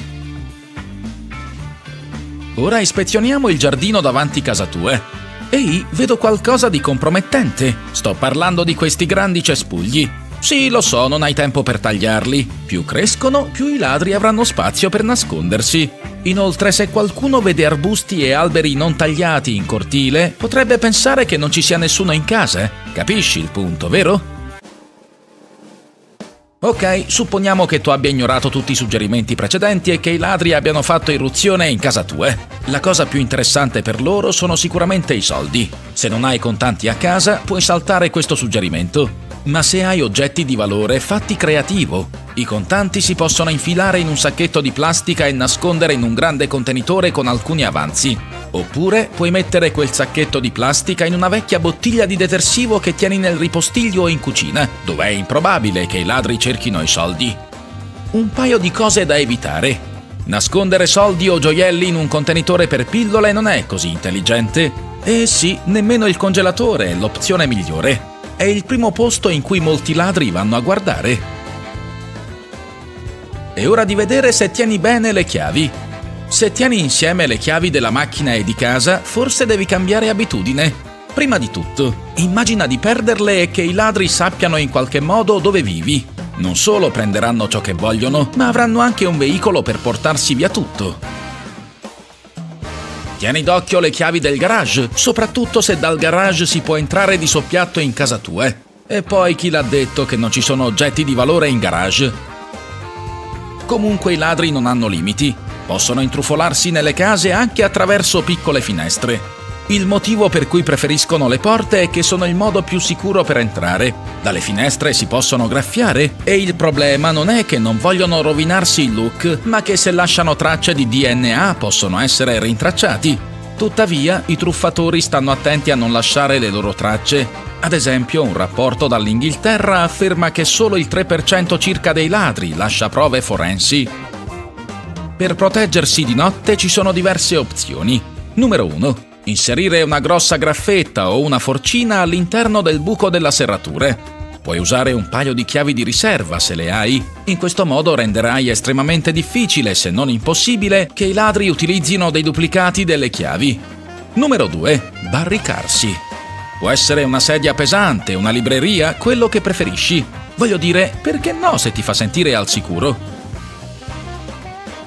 Se la tua porta si apre verso l'esterno, un jammer potrebbe fare un ottimo lavoro per te. Una sedia può essere molto utile. Fissala sotto la maniglia della porta. Non è il sistema di sicurezza più potente, ma almeno fa il suo lavoro. Anche legare insieme i pomelli o le maniglie delle porte può essere un'opzione. Una finta telecamera di sicurezza può proteggerti di giorno e di notte. Ancora una volta i ladri non sono così impavidi come potrebbero sembrare. Se hai una telecamera vera, assicurati che i truffatori non la disattivino. Mettila in un posto difficile da trovare. Se sei pronto a sborsare dei soldi per proteggerti, allora la luce con sensori di movimento è esattamente ciò di cui hai bisogno. I truffatori amano i punti bui e quando si avvicineranno a casa tua saranno spaventati dalla luce intensa. Questa soluzione funziona finché i ladri sanno che sei in casa. Nel caso in cui siano sicuri che tu sia via, è molto meno efficiente.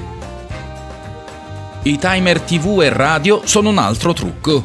Con il loro aiuto puoi fingere di essere a casa anche se non lo sei. Un'idea che si sposa perfettamente con la luce e con i sensori di movimento. Questo trucco può aiutarti ad essere più scaltro dei ladri, ma non offre una garanzia al 100%. Alcuni non hanno paura di entrare in casa anche se la TV è accesa. Che dire di un sistema di allarme in tempo reale, vero o finto che sia? Sto parlando di cani. Ricordi il trucco degli stivali? Puoi farlo anche con un cane se non ne hai uno. Lascia una grande ciotola sotto al portico, ma assicurati che tutto sembri reale. Insomma, la ciotola non deve sembrare intatta e nuova di zecca. Ehi, conosci i tuoi vicini? In caso contrario, è giunto il momento di preparare dei biscotti e andarti a presentare per conoscerli. Innanzitutto, ai ladri non piace molto operare in aree in cui le persone si conoscono e si prendono cura l'una dell'altra. In questo modo le loro possibilità di essere individuati e segnalati sono estremamente elevate. Quindi una sorta di guardia reciproca tra vicini è un modo perfetto per proteggere la tua casa e chi lo sa, trovare nuovi amici. Il controllo di vicinato attivo è un modo fantastico per far sì che la comunità si prenda cura di se stessa.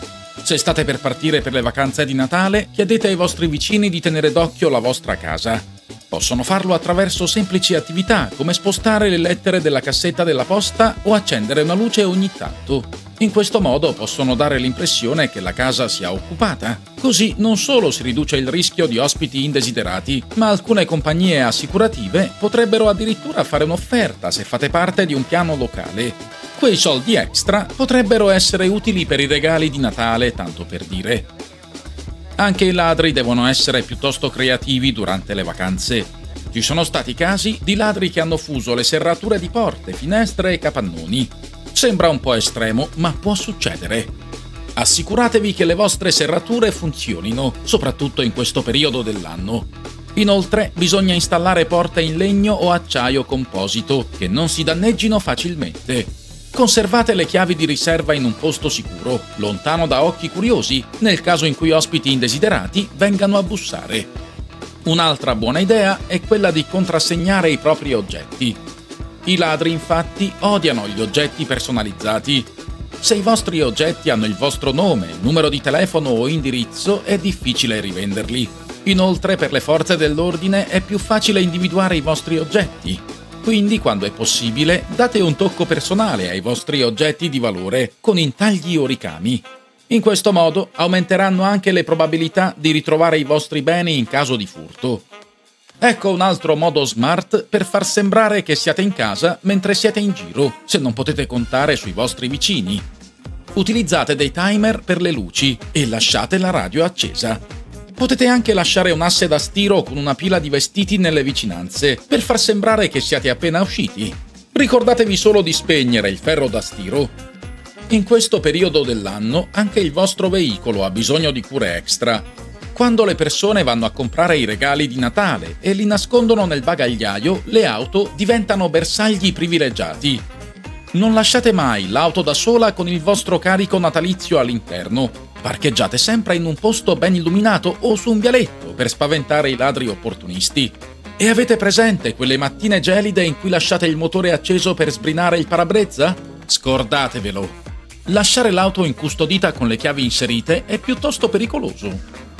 La maggior parte di noi pensa che un cartello attenti al cane sia un buon modo per tenere lontani gli estranei indesiderati. Ma durante il giorno può segnalare che non ci sia alcun allarme in casa, poiché i cani possono far scattare inutilmente i sensori.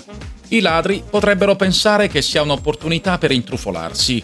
Quindi, se non avete un cane da guardia, forse dovreste riconsiderare quel cartello. Tuttavia, potreste impostare una skill cane da guardia gratuita su Alexa è possibile attivarla a distanza per emettere il verso di un cane che abbaia e ringhia.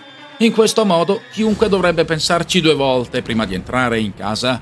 Rileggere i biglietti di Natale ricevuti alla fine dell'anno è piuttosto speciale. Anche i ladri ne vanno matti, soprattutto se le buste vengono gettate nel cestino. È il loro lasciapassare per ogni tipo di informazione personale sulla vostra famiglia assicuratevi di strappare tutti i pezzi di carta o di imballaggio prima di gettarli nella spazzatura. Inoltre, se il pavimento è pieno di carta e lettere, per i ladri è un chiaro segno che non siete in casa. Per nascondere la posta ed evitare il letterbox phishing, potreste acquistare una protezione per la cassetta delle lettere. Se siete diretti fuori città per le vacanze, è bene che mettiate in ordine la casa prima di partire. Lasciare valigie e borse fuori segnala che la casa potrebbe essere vuota e quindi diventare un bersaglio più facile. Nascondetele sotto il letto o in garage prima di uscire di casa. Pensate anche al calendario della vostra famiglia. Se le date delle vacanze sono esposte in un luogo visibile agli occhi di estranei, potreste trovarvi di fronte a una spiacevole visita a sorpresa. Cercate di passare ai calendari online, che sono più facili da tenere riservati lo so, lo so, tutti vogliamo che il nostro albero di Natale sia vicino alla finestra per ottenere un'atmosfera accogliente e perfetta, ma il problema è che in questo modo i ladri possono vedere bene i vostri regali. Le luci sull'albero possono anche dire ai ladri se siete in casa o meno, quindi magari usate un timer per le luci. E non dimenticate le calze, tenetele fuori dalla vista. Potete anche chiudere le tende per assicurarvi che le persone non vi stiano spiando.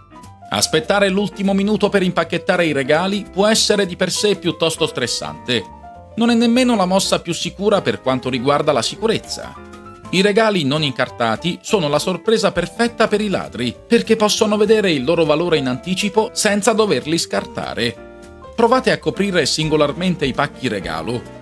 I ladri di solito fuggono a piedi, quindi eviteranno le borse ingombranti una volta scartati i regali con amici e parenti al vostro fianco, assicuratevi di riporli in un posto sicuro. Se avete prenotato le vacanze di Natale da tempo, forse non vedete l'ora di condividere la vostra gioia natalizia, così come potreste essere entusiasti di condividere questo video con i vostri amici, cosa che dovreste fare. Ma fate attenzione a non condividere troppo le informazioni personali sui social media. Pubblicare le foto delle vostre costose cene all'estero può far pensare ai potenziali ladri che la vostra casa sia vuota. Utilizzate saggiamente le impostazioni della privacy e fate attenzione a chi può vedere i vostri post. Anche l'allarme con i sensori di movimento per gli angoli più bui della casa è un'ottima idea, anche se richiede un po' più di pianificazione e di investimento finanziario. Tuttavia, il costo medio di un furto con scasso è di circa 3.000 euro, quindi prendete in considerazione l'investimento. Non sottovalutate le porte per cani e le gattaiole. Alcune persone potrebbero anche essere in grado di intrufolarsi in casa vostra attraverso quelle più grandi. E anche se le telecamere a circuito chiuso sono ottime, i ladri tendono a essere scaltri. Essi stessi monitoreranno la vostra casa per un po', alla ricerca di schemi e potenziali nascondigli, come cespugli o zone buie. Inoltre, durante le vacanze, saranno alla ricerca di parcheggi vuoti come segno che una casa è vuota. Non si tratta solo della casa o della macchina. Quando siete in giro per negozi, cercate di limitarvi alle ore diurne se possibile se dovete andarci di sera, cercate di non andarci da soli. Inoltre, non portate con voi un sacco di contanti. È meglio pagare con carta di credito quando è possibile. Se avete contanti, però, teneteli in una tasca interna. Sarà più facile controllarli.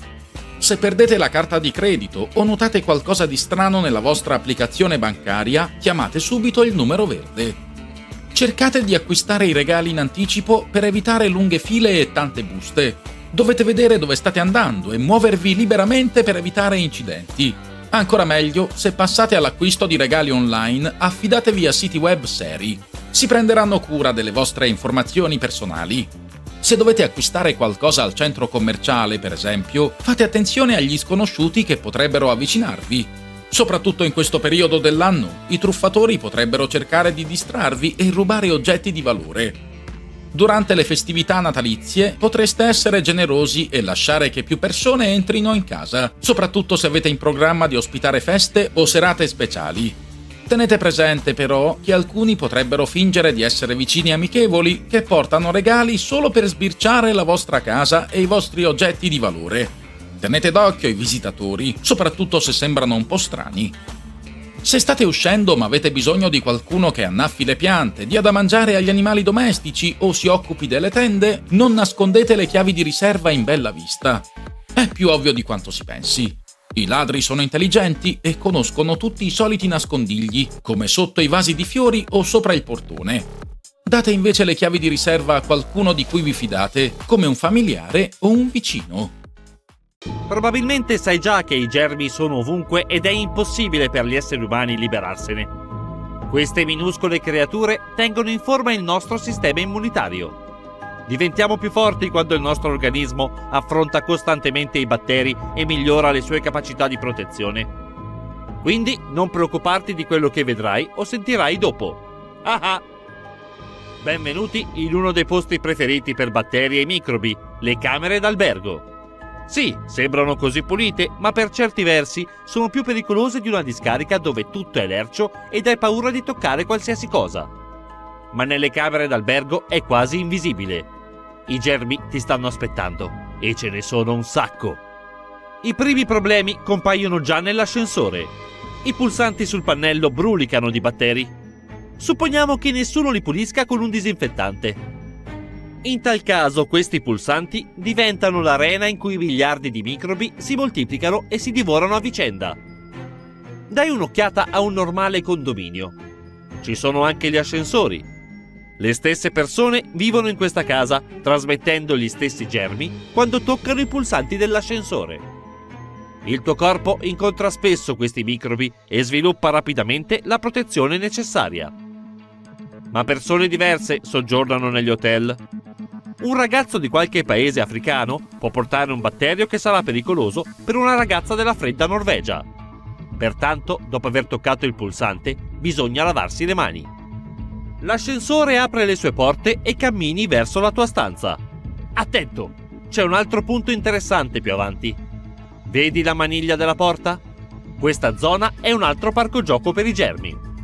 Quante persone l'hanno toccata prima di te quanto tempo è passato dall'ultima volta che è stata lavata?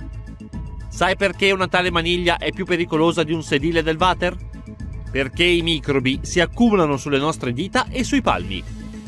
Quando non li laviamo, trasferiamo un milione di batteri da un luogo all'altro toccando le superfici di diversi oggetti. Quindi il modo migliore è toccare la maniglia della porta con la stessa mano con cui hai premuto il pulsante nell'ascensore. Non appena entri nella stanza, lavati le mani. La buona notizia è che il personale dell'hotel pulisce i bagni molto meglio del resto della stanza. Quindi sei un po' più al sicuro qui. Tuttavia, dai un'occhiata agli angoli del bagno e alle piastrelle.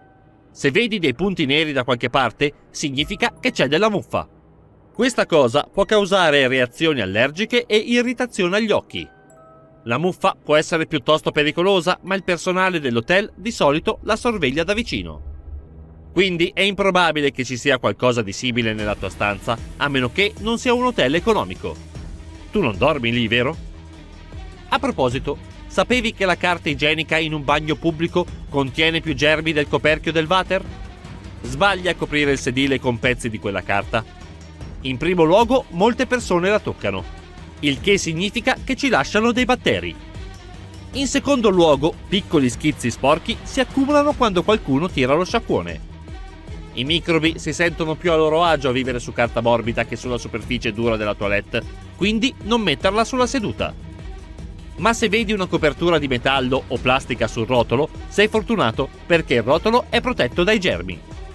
Dopo aver fatto quello che dovevi fare ed esserti lavato accuratamente le mani, hai due opzioni. Pulisci le mani con un tovagliolo di carta o usa un asciugamani elettrico. Non importa cosa scegli, entrambe le varianti hanno molti germi ma se usi l'asciugatrice i batteri voleranno per tutta la stanza. Quindi meglio prendere un asciugamano. Esci dal bagno e ti ritrovi in una zona pericolosa. Non pensare che tutti i germi siano innocui. Alcuni dei batteri più comuni negli hotel causano infezioni intestinali. Se non vuoi trascorrere il resto della tua vacanza o del tuo viaggio di lavoro accanto o sul water, preparati a combattere le colonie di minuscoli parassiti. La prima cosa che devi fare è lavare bicchieri e tazze con il sapone. Alcuni viaggiatori portano con sé le proprie tazze, il che è una buona idea. Poi guardati intorno e chiediti cosa le persone toccano di più. Risposta: telecomando della TV, macchina del caffè, frigorifero, maniglie delle porte, l'asciugacapelli e le finestre. Rilassati, non devi fare le pulizie al posto del personale dell'hotel. Basta avere delle salvettine umidificate con un potente disinfettante. Pulisci la superficie di tutti questi oggetti. Forse ti preoccupi invano e l'hotel è attento alla pulizia delle camere. Oppure puoi dire al direttore che vuoi che la tua stanza venga pulita di nuovo. Quindi hai pulito tutte le superfici e vai a letto. Sfortunatamente non sei l'unico a riposare su quel morbido materasso. Hai un'enorme compagnia di batteri. Certo, lavare le federe e la biancheria da letto distrugge i germi, ma per quanto riguarda il copriletto? Molto probabilmente nessuno lo lava. Rimuovere i germi dal tessuto è difficile, quindi probabilmente dovrai sopportarlo. Ma la cosa che non dovresti accettare sono le cimici dei letti. Se noti delle macchie scure sul tuo materasso, è molto probabile che si tratti dei rifiuti lasciati dalle cimici. Non hai fame, vero? Non voglio rovinare il tuo appetito. Gli insetti possono nascondersi in profondità nel materasso. Possono dormire lì per mesi e poi svegliarsi per soddisfare la loro fame. Mentre stai riposando escono e ti mordono le gambe. Se noti delle piccole macchie rosse sulla pelle al mattino, allora non mi sbagliavo. I morsi di questi coleotteri non sono pericolosi.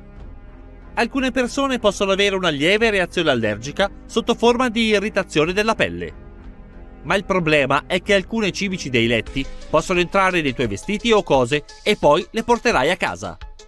Queste creature si moltiplicano rapidamente. Pertanto, se non vuoi una colonia di insetti pungenti in casa, lava i vestiti, pulisci le valigie e vai sotto la doccia.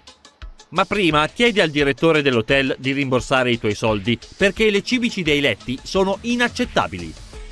A proposito, anche se la stanza è perfettamente pulita, non significa che non ci siano cibici. Forse le hanno portate gli ospiti precedenti. Quindi il tuo letto non ha macchie nere e hai pulito tutte le superfici pericolose. Questo è tutto. sei al sicuro. Ma prova a camminare sul pavimento indossando pantofole o calzini spessi, poiché anche il pavimento è una fonte di sporcizia. Trascorri diverse notti in hotel e finalmente ritorni in un luogo pulito e sicuro, la tua casa. Sfortunatamente la tua casa può anche avere molti germi che non vedi. Ti piace divertirti con gli amici e giocare ai videogiochi? Ti ricordi quando è stata l'ultima volta che hai pulito il gamepad? Tutti i tuoi amici l'hanno tenuto in mano, il che significa che hai raccolto lì tutti i loro microbi. Il tagliere della tua cucina. Quanto accuratamente lo lavi? Non basta spruzzarlo solo con acqua, soprattutto se tagli carne e verdure. Puoi tagliare un po' di zucca e i suoi germi si attaccheranno alla superficie. Quindi lavi rapidamente la tavola e la rimetti a posto. Ma i germi non sono scomparsi. Sono ancora saldamente attaccati alla superficie, in attesa che tu tagli il pane. Quindi salteranno sul cibo e ti entreranno nello stomaco. Come va quell'appetito? Ne hai ancora? Un altro posto pericoloso è la spugna per i piatti. Anche se usi un buon detersivo, i germi si accumulano ancora. Il modo migliore per sbarazzarsene è cambiare la spugna una volta alla settimana. E ora ecco il paradiso per i batteri. Un luogo con una temperatura fredda ideale e un sacco di cibo, dal fresco al non. È il tuo frigorifero. Lì metti i prodotti che porti dal supermercato centinaia di persone potrebbero toccarli con le mani, lasciando milioni di germi. Pertanto, non dimenticare di lavare spesso il frigorifero. Inoltre, tieni la carne lontana dai prodotti confezionati, perché i germi su una bistecca al sangue si moltiplicano e la rovinano rapidamente. Forse sei troppo preoccupato per la tua salute adesso? Se è così, allora dovresti ricordare le parole dall'inizio del video. Ripeto, probabilmente sai già che le gemme sono ovunque, Aspetta, non è così. Ups, scusa. Se sei un fortunato possessore di un iPhone 12 nuovo di zecca o hai appena aggiornato il tuo sistema operativo a iOS 14, non aver paura di quello strano puntino verde o arancione che spunta in alto a destra. Il punto verde indica che stai usando la fotocamera, mentre l'arancione indica che stai usando il microfono. Diciamo che hai TikTok in background che potrebbe usare passivamente sia la fotocamera che il microfono. Questi punti ti avviseranno, ti aiutano a controllare la durata della batteria. Per aumentare la potenza sonora del vostro iPhone andate su Impostazioni, Musica e trovate l'equalizzatore. Nel menu si chiama EQ. L'opzione Notte fonda aumenterà la potenza dello speaker del 20% circa rispetto al normale. Inoltre è possibile creare una vibrazione personalizzata per tutti i tuoi contatti. Va su Impostazioni, Suono e Feedback e apri le impostazioni della suoneria. Normalmente la vibrazione è impostata di default. Scorrendo in basso vedrai la sezione per personalizzarla. Scegli quella che preferisci e salvala. Puoi crearne una per ogni contatto della rubrica. Se la vibrazione personalizzata non è sufficiente e tendi sempre a perdere le chiamate della nonna, prova a personalizzare il flash. Usalo come notifica extra per le chiamate in arrivo. Va su Impostazioni generali, scegli la sezione Accessibilità e poi su Udito. Su contenuti audiovisivi attiva Flash LED per gli avvisi. Non perderai mai più quella chiamata. Tenendo premuta la barra spaziatrice e scorrendo a destra o a sinistra, otterrai un cursore. Può esserti utile per individuare subito un errore di battitura o correggere qualche parola nelle note o qualsiasi testo su cui stai lavorando. Se digiti un messaggio molto lungo, ma ti accorgi che forse è meglio non inviarlo, puoi cancellarlo semplicemente scuotendo il cellulare. Ogni volta che hai necessità di selezionare più di un'icona, toccane una e tienila premuta, mentre con un secondo dito seleziona tutte le altre icone che ti servono. Non funzionerà se hai un iPhone 6 o più vecchio. Gli iPhone più recenti hanno una funzione incredibilmente utile quando si deve passare da un'applicazione all'altra. Guarda quella riga in fondo allo schermo. Tieni premuto e scorri a sinistra o a destra, scorrendo tra le app aperte quella che ti serve. Niente più doppio tocco e centro di notifica. Se ti piace addormentarti con la tua musica preferita o con un altro video di YouTube proprio come faccio io, va su orologio e seleziona timer. Nel riquadro allo stop scorri verso il basso fino a quando non vedi il pulsante interrompi riproduzione. Questa funzione spegne tutte le applicazioni multimediali come la musica, le finestre che riproducono suoni, video e persino l'applicazione YouTube. Piuttosto utile se ti sei svegliato alle 3 del mattino per colpa di qualche video random che è stato riprodotto automaticamente. Yeah! Siamo tutti abituati ai messaggi, ma gli iMessage sono divertenti. Premi il pulsante Invia per aggiungere diversi effetti incredibili al tuo messaggio. La sezione ha quattro caratteristiche. Inchiostro magico rende impossibile leggere il messaggio a meno che non lo si gratti via con un dito. Fa scorrere il dito da destra a sinistra e indietro per visualizzarlo. L'effetto delicato fa apparire le lettere davvero minuscole all'inizio, ma poi diventano più grandi. L'effetto pop-up, viceversa, le fa gonfiare all'inizio, in modo da farle apparire molto più grandi, ma le dimensioni tornano alla normalità in pochi secondi. L'effetto impatto parla da solo. Il messaggio sbatte letteralmente sullo schermo tocca il pulsante di destra chiamato schermo. È divertente. Per esempio, invia con effetto eco. Lo schermo del tuo amico sarà riempito di fumetti con il testo del tuo messaggio. Scorri a destra per altrettanti effetti molto diversi. Ne troverai sicuramente uno per modificare il testo che stai per inviare. Anche il font dell'iPhone ha dimensioni diverse. Per renderlo più grande o più piccolo, va nella sezione Display e luminosità nell'impostazione. Fai tap sulla dimensione del testo e regola come vuoi. Puoi scattare un selfie non solo con il tasto del volume del telefono, ma semplicemente premendo quel tasto sulle cuffie. Questo trucchetto è per i possessori di iPhone, ma funziona anche su molti dispositivi Android. Ricorda che di solito funziona con le cuffie originali, gli iPhone possono non avere le batterie più durature, ma battono tutti quando si tratta di qualità fotografica. Attivare la griglia nelle impostazioni della fotocamera, andando su Generale e poi Fotocamera, può aiutare a migliorare la composizione della foto. Se ti piace digitare con una mano sola, probabilmente è giunto il momento di impostare la tastiera giusta. Mentre digiti, tieni premuto il tasto a forma di mappamondo. Appariranno tre tastiere. Quella a sinistra viene utilizzata ogni volta che si digita tenendo il telefono nella mano sinistra. Quella al centro è per entrambe le mani e quella a destra è per digitare solo con la mano destra. Se ti piace scrivere lunghe lettere romantiche nelle note, ma non vuoi che nessuno le legga, imposta una password. Ci sono due modi per farlo, a seconda del modello dell'iPhone. Per l'iPhone 6 bisogna scorrere da destra a sinistra e appariranno tre icone, lucchetto, cartella e cestino. Usa il cestino se la lettera romantica è brutta e il lucchetto per proteggerla da occhi indiscreti. Imposta la password, ma non dimenticarla, non potrai più cancellarla. Se questo procedimento non funziona, toccando e tenendo premuta la nota stessa, comparirà la barra della password nel menu a discesa Impostala e nessuno saprà delle tue lettere romantiche a Jane che stai scrivendo di notte. I nuovi iPhone supportano la funzione più bella di sempre. Ora puoi fare uno screenshot dell'intera pagina del browser in un unico file. Basta premere il pulsante di aumento del volume e il pulsante di accensione.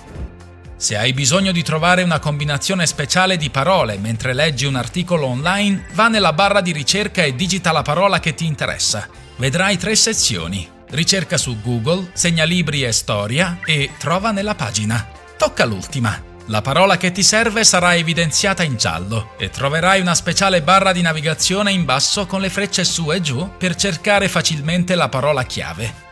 Non dimenticare di aggiornare la RAM dell'iPhone di tanto in tanto. Aiuterà il tuo dispositivo a lavorare meglio e più velocemente. Per fare questo devi cercare a fondo. Va su Impostazioni, Generali, Accessibilità, Assistive Touch e accendi. Premi più, meno e il pulsante di accensione. Vedrai la barra Power Off. Premi Assistive Touch tenendo premuto il pulsante Home. La RAM si è aggiornata. Se vedi la notifica inserisci il codice dopo averlo fatto, significa che hai eseguito tutto correttamente. Assistive Touch può anche aiutarti ad impostare nuove funzioni con semplici tocchi. Vai in Impostazioni, Generali, Accessibilità e nella sezione Assistive Touch e modifica qualsiasi comando nel menu Azioni personalizzate. Per il doppio tocco ho scelto lo screenshot, poiché una combinazione di home più pulsante di accensione sembra un po' scomoda. Per fare uno screenshot basta toccare due volte il cerchio del menu di accessibilità. Gli utenti iPhone non hanno bisogno di un'applicazione separata per i lettori QR, dato che hanno la funzione integrata. Apri la fotocamera e puntala verso il codice. Vedrai una finestra pop-up sulla parte superiore dello schermo. Toccando la finestra aprirai direttamente il link collegato al codice QR. Se non funziona, abilita la funzione Scansiona codice QR nelle impostazioni della fotocamera. È possibile impostare qualsiasi canzone desideri per la sveglia. Va su Sveglia e premi Modifica. Imposta l'ora e nella sezione Suono seleziona Scegli un brano e scegli una qualsiasi canzone dalla tua libreria. Avvertenza, la tua canzone preferita probabilmente si trasformerà in un incubo dopo averla sentita come sveglia per un paio di mattine. Uno dei problemi più fastidiosi per tutti gli utenti iPhone è quando si esaurisce la memoria. Anche cancellando le foto non rimane abbastanza spazio. Vai in impostazioni, generali, spazio iPhone e assicurati che le foto cancellate di recente siano veramente cancellate. In caso contrario, cancellale nelle cartelle di memorizzazione. Fa attenzione ai file pesanti contenuti nei tuoi messaggi, limitando il tempo di memorizzazione del messaggio. Nella cronologia dei messaggi tocca il pulsante Conserva i messaggi. L'impostazione predefinita è per sempre, ma è possibile conservarli per un anno o anche solo per 30 giorni. Se hai molti documenti da firmare, questo trucco può aiutarti a farlo senza nemmeno stamparli o scannerizzarli. Fai uno screenshot del documento che vuoi firmare, poi toccalo per apportare le modifiche. Con il pulsante più nell'angolo in basso a destra, scegli l'opzione Firma ed ecco fatto firma il documento con il dito e salva le modifiche premendo il tasto Fatto. E per ora abbiamo fatto anche noi. Lo spirito delle feste arriva con le decorazioni natalizie. Luci scintillanti, ghirlande e palle di neve ne fanno parte. Anche ai nostri amici pelosi piace giocarci, ma sapevi che queste cose celano pericoli nascosti? Diamo un'occhiata più da vicino ai consigli per la sicurezza degli animali domestici, sia durante le feste che in qualsiasi altro periodo dell'anno. Il numero uno sono le ghirlande. Non possiamo vivere senza. Ce ne accorgiamo subito quando addobbiamo l'albero di Natale. Gli animali domestici, soprattutto i gatti, amano queste decorazioni se ne mangiano un pezzo, possono avere problemi intestinali. Oltre agli effetti emotivi, le conseguenze possono costare molto anche in termini economici. Un intervento chirurgico per rimuovere un corpo estraneo può costare davvero tanto. Non sottovalutare il fascino di un oggetto luccicante nella stanza e tieni sempre d'occhio gli animali. Il numero 2 sono le lucine. Una volta terminate le feste, di solito dopo la Befana, le rimettiamo nella scatola. Quando aprirai la scatola l'anno prossimo sarà difficile districarle. E mentre stai aprendo la scatola, gli animali domestici possono mangiare le luci o prendere una scossa elettrica. Per evitarlo si possono avvolgere i cavi allentati e appendere le luci in punti non facilmente raggiungibili dai più piccini della casa. Alcune persone fanno collezione di globi di neve. Ricevono queste sfere come souvenir dai luoghi turistici. Altri le tirano fuori da una scatola con le decorazioni in determinati periodi dell'anno. Questi oggetti possono rompersi facilmente. Non chiedermi come faccio a saperlo. Alcune contengono ingredienti pericolosi non solo per gli animali domestici, ma anche per i bambini. Numerose fonti hanno lo stesso avvertimento. Tenere gli animali domestici lontani dai globi di neve. Detto questo, il liquido contenuto nelle palle di neve potrebbe non essere solo acqua pura. Spesso contiene il 2% di glicole etilenico e si è scoperto che ha un odore dolce che può attirare i cuccioli. Il numero 4 riguarda gli alberi di Natale e di come si possono adattare agli animali domestici. Secondo i veterinari, gli alberi e le ghirlande artificiali possono essere più sicuri di quelli veri, questi alberi non portano con sé l'odore dell'esterno e quindi non attirano molto gli animali. In questo caso l'importante è non acquistarli ricoperti di neve artificiale, perché possono essere dannosi. Se non vuoi acquistare alberi artificiali, puoi attaccare un filo da pesca all'albero e appenderlo al soffitto per stabilizzarlo. Per quanto riguarda l'acqua per l'albero, un cucciolo potrebbe assaggiarla. È meglio non aggiungere aspirina o altro a quest'acqua. Potresti coprire il vaso con un foglio di alluminio per tenere lontani gli animali. Infine, mettere temporaneamente una grande ciotola d'acqua nella stessa stanza dell'albero aiuta. Se l'animale ha sete, può andare alla ciotola invece che al vaso. Inoltre, potresti mettere una barriera davanti all'albero per renderlo meno accessibile. Ah, ma alcuni gatti sono selvaggi. La prendono come una sfida e superano facilmente la maggior parte degli ostacoli. Tuttavia, lo scotch biadesivo può aiutarti. Quando ho parlato di globi di neve, intendevo anche i magneti. Mi chiedo se i magneti possano essere pericolosi per gli animali domestici. Nelle nostre case li usiamo per vari scopi. Per cominciare, mettiamo in mostra le nostre foto o le nostre note sul frigorifero. I nostri amici a quattro zampe possono facilmente arrivarci. Tuttavia, questi magneti da frigo potrebbero non essere così dannosi come i cosiddetti magneti di terre rare. I magneti al neodimio, ad esempio, sono il vero pericolo. Questi sono molto potenti. Se accidentalmente pizzicano le parti del corpo, possono ferirci. Immagina questi magneti come dei guerrieri. Quando si avvicinano troppo l'uno all'altro, possono colpire con una forza straordinaria che scheggia e frantuma i normali magneti. Non li vorresti vicino agli animali domestici o ai piccoli membri della famiglia. I magneti in terre rare sono normalmente utilizzati in oggetti come dischi rigidi, serrature per porte o cuffie, ma sono anche utilizzati nei giocattoli. Questi magneti non sono particolarmente tossici, quindi se il cane ne mangia accidentalmente uno, il magnete può lasciare il suo corpo in modo naturale. Ma cosa succede se mangia due magneti superpotenti? Non voglio entrare nei dettagli di questo scenario, L'intestino va avanti e indietro nell'addome e se questi magneti si avvicinano troppo l'uno all'altro? A quanto pare anche le monetine prodotte dopo il 1982 sono pericolose. Contengono alti livelli di zinco. So cosa stai pensando? Lo zinco non è un minerale essenziale per il nostro corpo? Sì, per la crescita, la guarigione delle ferite e altro. Tuttavia, il corpo ha bisogno di una piccola quantità di zinco una quantità eccessiva può causare avvelenamento. Lo zinco si trova in molti oggetti metallici come bulloni, cerniere e gioielli. Se vivi negli Stati Uniti, saprai che i penny coniati dopo il 1982 hanno un nucleo di zinco ricoperto da una placcatura di rame. Una delle cause più comuni di avvelenamento da zinco negli animali domestici sono queste monetine. Anche le piante e i mazzi di fiori possono essere pericolosi.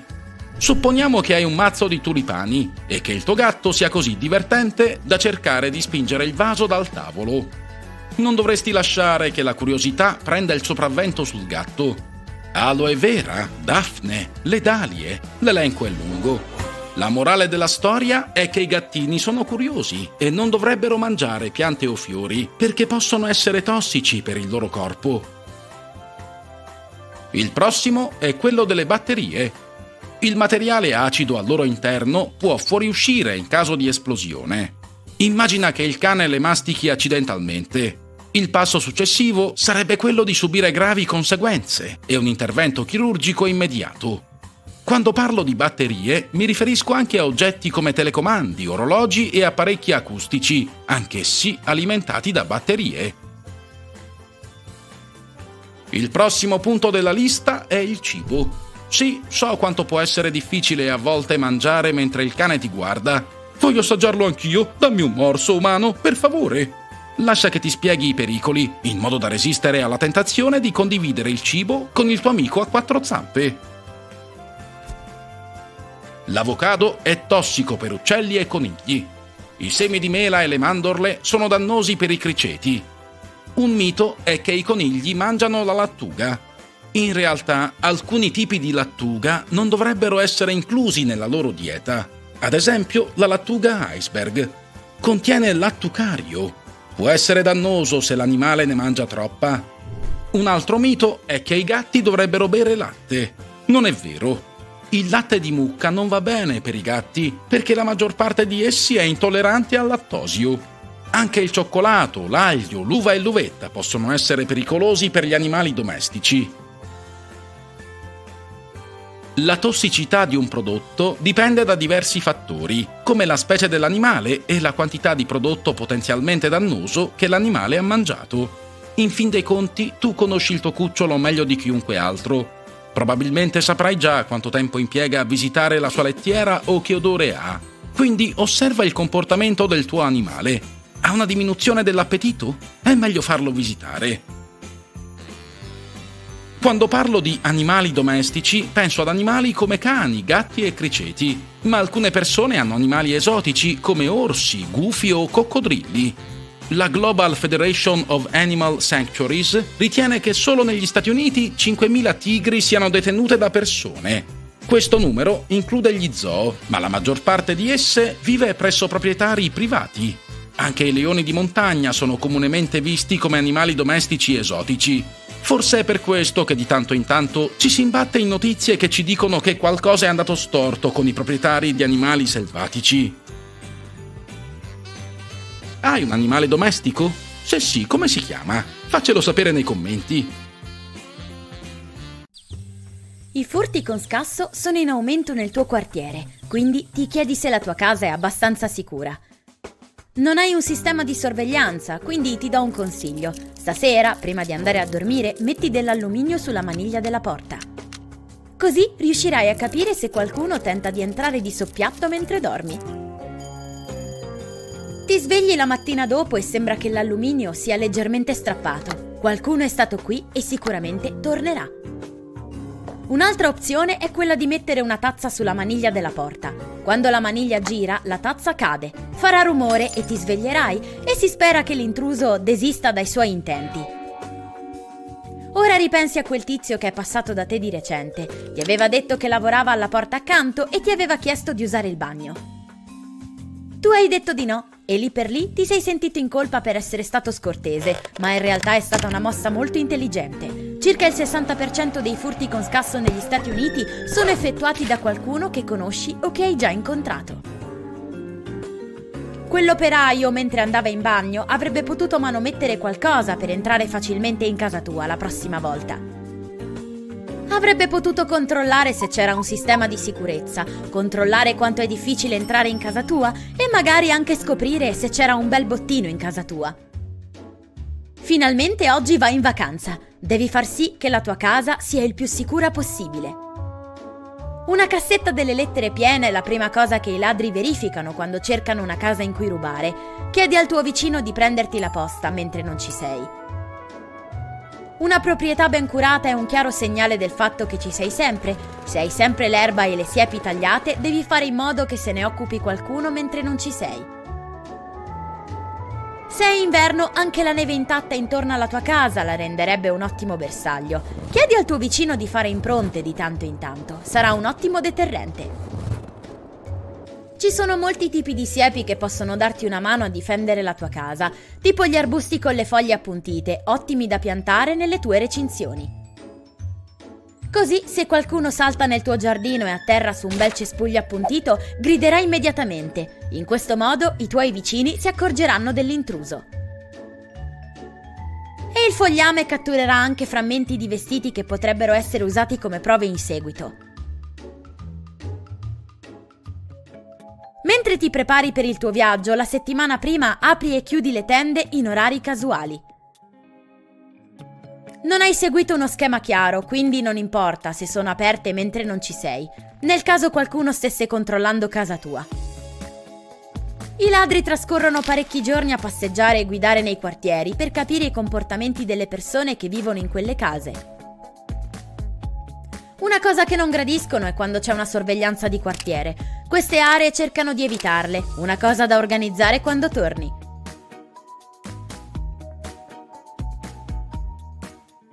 Sposta tutti i tuoi dispositivi elettronici costosi lontano dalle finestre, così non c'è nessuna cosa di valore in bella vista. Mettili in un armadio o in una stanza riparata. Non preoccuparti dei televisori, sono troppo grandi e difficili da spostare. I criminali sono più interessati a dispositivi più piccoli come iPad e console di gioco. Metti gli oggetti costosi di piccole dimensioni, tipo i gioielli, in delle scatole e nascondili in un luogo segreto, ad esempio la camera dei bambini, insospettabile. Alcuni ladri hanno ammesso di non entrarci mai, perché non c'è niente di valore, solo giocattoli. Scatta foto a tutti i numeri di serie dei tuoi dispositivi elettronici e crea un inventario a fini assicurativi. Il 95% delle effrazioni avviene con la forza, quindi è il momento di rafforzare porte e finestre. Puoi rendere l'impresa ancora più difficile con questo trucchetto. Rimuovi tutti gli sgabelli, le sedie e le scale in giardino e mettili in garage, altrimenti potresti facilitargli l'accesso a dei punti che gli permettono un ingresso in casa tua, come le scatole dei condizionatori. Sì, queste sono le loro preferite, sono facili da staccare e gli permettono di entrare in casa, non dargli modo di raggiungerli con degli appoggi. I ladri possono sfondare una porta poco resistente in un minuto. Installa una struttura in metallo anziché in legno per una maggiore resistenza.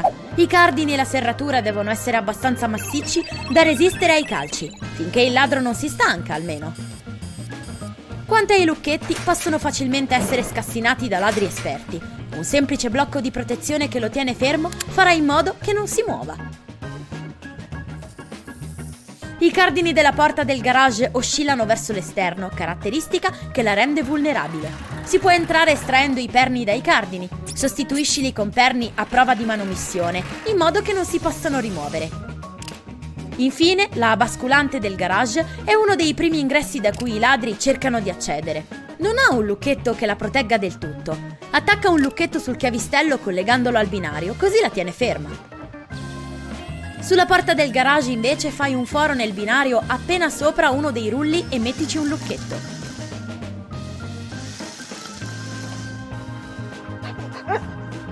I ladri hanno paura dei cani, i leali guardiani del nostro territorio. Un sondaggio ha rilevato che nella maggior parte delle case svaligiate non c'erano cani, perché i ladri non vogliono attirare l'attenzione durante una rapina. Purtroppo tu non hai un cane, però se metti una ciotola fuori dalla porta d'ingresso li scoraggerai. I ladri sono al passo con la tecnologia. Quattro criminali su cinque utilizzano social come Facebook, Twitter e Google Maps per individuare i loro obiettivi. Questi ladri sono in grado di fare un duplicato delle tue chiavi di casa anche da una foto, ingrandendo e prendendo le misure esatte. Assicurati che la tua rete wireless sia sicura e usa una password più difficile mentre sei fuori casa. Non siamo più solo vulnerabili al furto di oggetti fisici.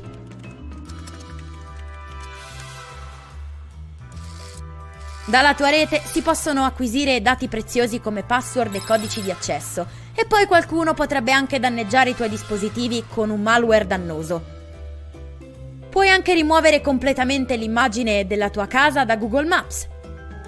Digita il tuo indirizzo di casa, trova la Street View della tua residenza, premi il pulsante delle opzioni e seleziona Segnala un problema.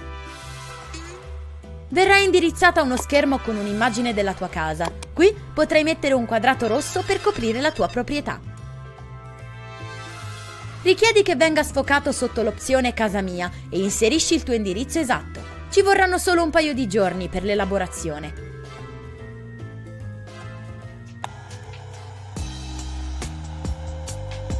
Non lasciare la radio accesa mentre sei via, non serve. I ladri infatti prendono nota anche di eventuali radio e tv accese.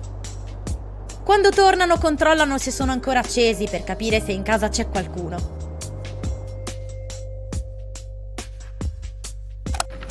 Un'opzione alternativa per far sembrare che sei in casa è creare una tua traccia audio che riproduca vari rumori della casa durante il giorno. Passi, conversazioni, un cane che abbaia. Anche lasciare le luci accese non è una buona idea. Se c'è qualcuno che spia in giro noterà più facilmente la tua casa, soprattutto di notte. E poi verrai ulteriormente derubato sulla bolletta della luce.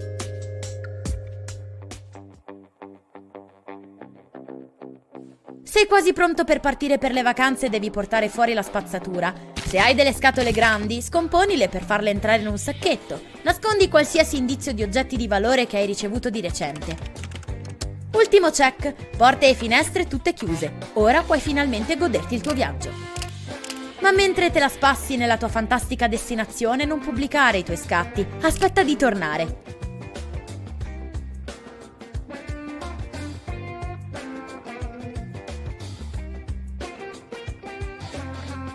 Se condividi le foto mentre sei via, tutti i preparativi fatti finora saranno inutili. Tutti i criminali della zona sapranno che non sei in casa.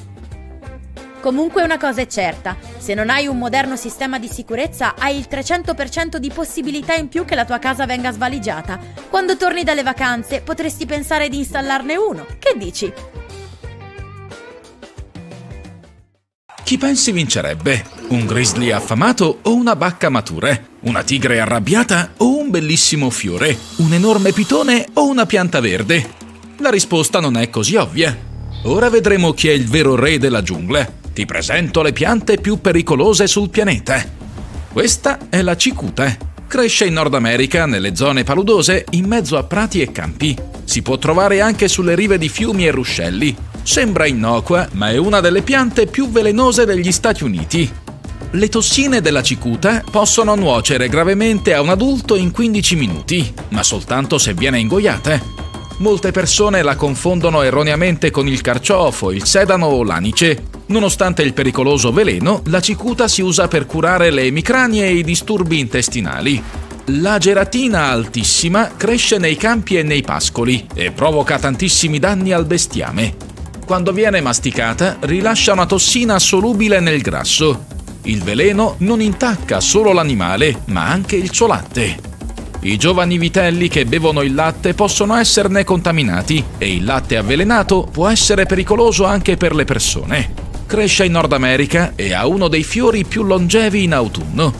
Al giorno d'oggi, negli allevamenti moderni, il veleno di questa pianta non è più tanto pericoloso, ma nei piccoli allevamenti la geratina altissima rimane il pericolo maggiore.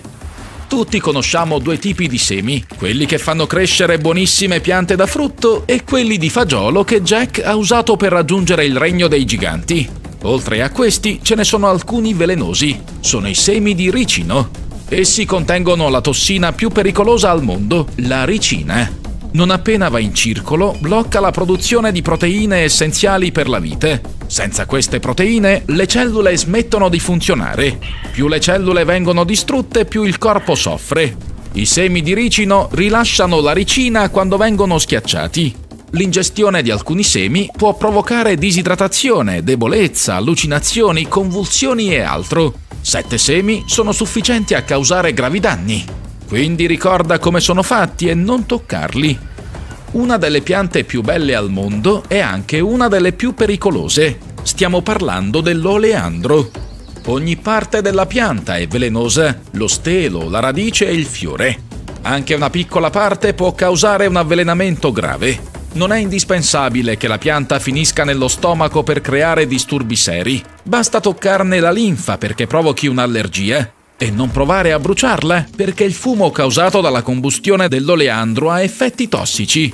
E adesso passiamo a una delle piante più pericolose sul pianeta. Una sola puntura potrebbe dolerti per anni o per tutta la vita. La pianta dei suicidi, chiamata anche Gimpy Gimpy, somiglia a una comune pianta di bardana. Non sembra affatto velenosa, ma se ti capita di avvicinartici ti sentirai mancare il fiato e ti lacrimeranno gli occhi. Le foglie sono ricoperte di migliaia di piccolissimi peletti tossici, così leggeri che possono rimanere nell'aria ed essere trasportati dal vento. Per questo è meglio indossare una maschera antigas per avvicinarsi alla pianta. Se per caso ti capita di toccare la Gimpy Gimpy, sei in guai grossi. La sua puntura è stata paragonata a quella di 30 vespe contemporaneamente i peli tossici penetrano facilmente sotto la cute e causano irritazione e dolore ed è molto difficile estrarli. Se provi a usare acqua e sapone, disinfettante o un unguento, vedrai che la situazione peggiorerà. È impossibile toglierli. Rimangono sotto pelle, rilasciando tossine e ti fanno impazzire. Non esiste antidoto, perché gli scienziati ancora non conoscono i componenti delle tossine. Si sa che possono resistere a temperature fredde e calde, quelle sensazioni spiacevoli possono durare per ore, giorni o anche mesi. Chi ha toccato la pianta ha raccontato che il dolore della puntura può tornare anche anni dopo. Visto che è impossibile liberarsi dei peli, l'unica cosa da fare è aspettare che perdano la loro tossicità. E qui si solleva un altro problema. Si può strappare una foglia di Gimpy Gimpy con i guanti e portarla in laboratorio, farla seccare e dimenticarsene per anni. Ed eccola davanti a te una foglia appassita, quasi disintegrata. Sembra innocua, ma non lo è. Anche dopo molti anni i peli velenosi rimasti sulla superficie della foglia possono avere effetti tossici.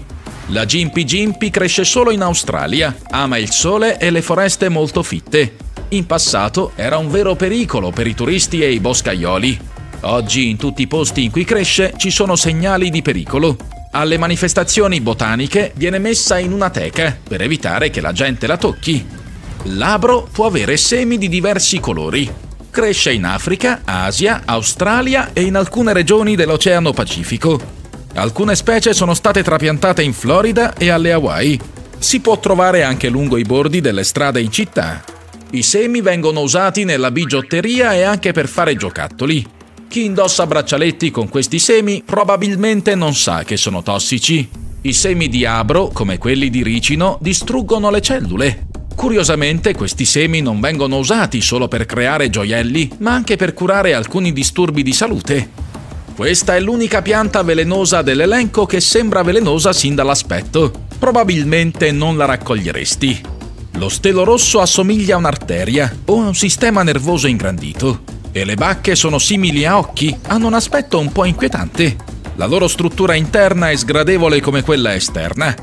L'Actea pachypoda, o occhi di bambola, ha una tossina pericolosa. Più la pianta cresce, più diventa velenosa. Le componenti chimiche della pianta hanno un effetto sedativo su muscoli e cuore. Ciò significa che il corpo si rilassa così tanto che smette di funzionare. Avrai probabilmente visto questa pianta dal vivo nei documentari. La Dionea, o Venere a chiappa mosche, è un raro esemplare di pianta carnivore. Per fortuna non è pericolosa per gli umani quanto lo è per gli insetti. In ogni caso è meglio non metterci il dito dentro. Funziona in questo modo. La pianta apre la bocca. Nel centro si trova un petalo rosso molto profumato. È un'esca. Le mosche e gli scarafaggi lo vedono e ne sono attratti. Entrano nel fiore. La Venere non si chiude immediatamente i minuscoli peli sensibili della pianta contano i movimenti della mosca. Se la mosca fa più di due movimenti in 20 secondi, la pianta chiude la bocca in meno di un secondo. Questo intervallo di tempo serve perché la Venere eviti di chiudersi inutilmente se ci atterra qualcosa che non gradisce. A quel punto la mosca è in trappola. Le setole sulle mandibole funzionano come le sbarre di una gabbia. La preda non può scappare.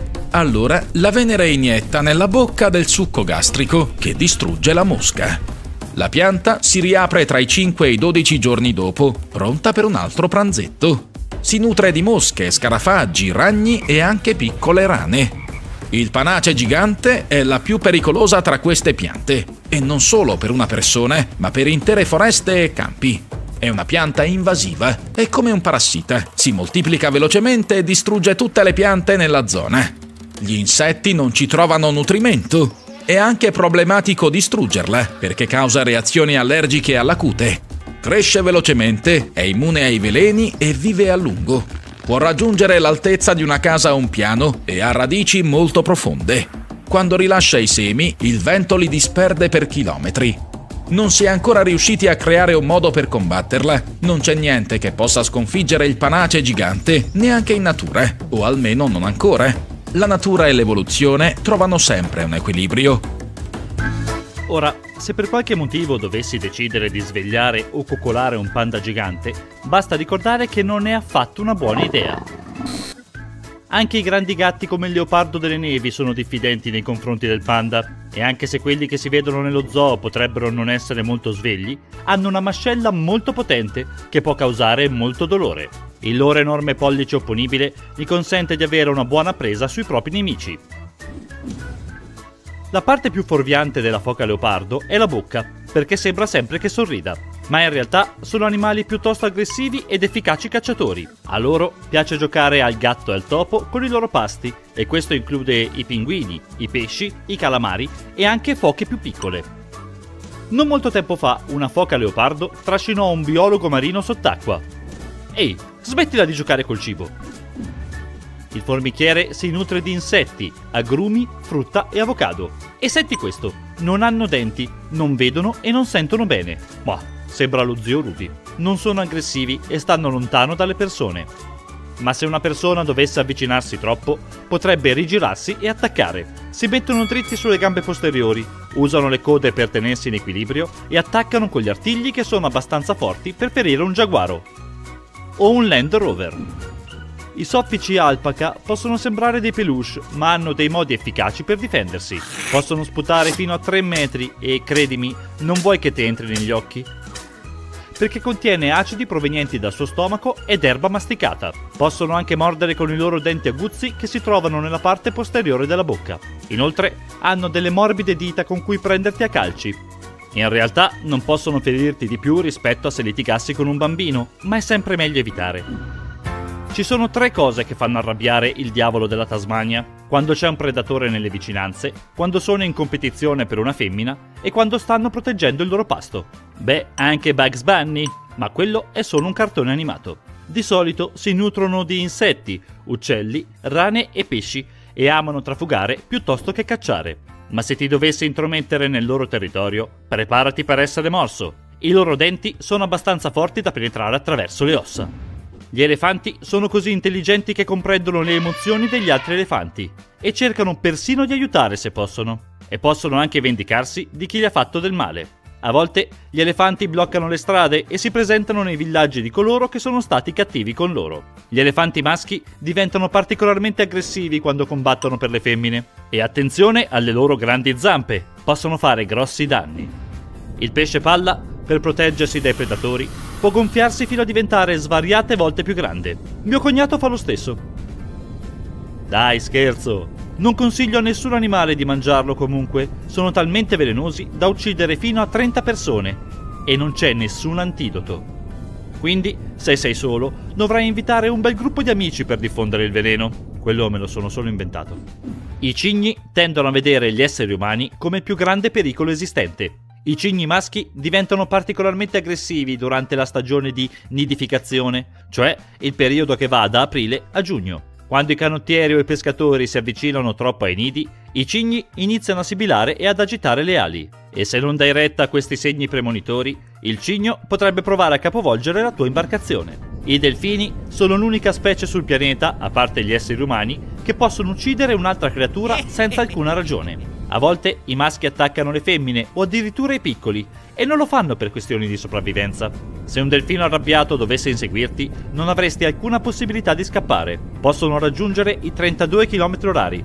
La velocità massima del nuotatore olimpico Michael Phelps è di soli 10 km/h, quindi lui di certo non potrà essere di aiuto. I lori lento sono gli unici primati velenosi. Il veleno viene custodito nei gomiti, poi viene trasferito alla bocca durante la toilettatura per proteggere i loro piccoli. Inoltre sono in grado di scacciare via predatori come pitoni e falchi grazie a degli speciali contrassegni che li fanno sembrare cattivissimi. Se un lori lento dovesse mordere una persona che è finita nel suo territorio o che lo ha infastidito, avrebbe eruzioni cutanee, shock anafilattico o potrebbe succedere di molto peggio.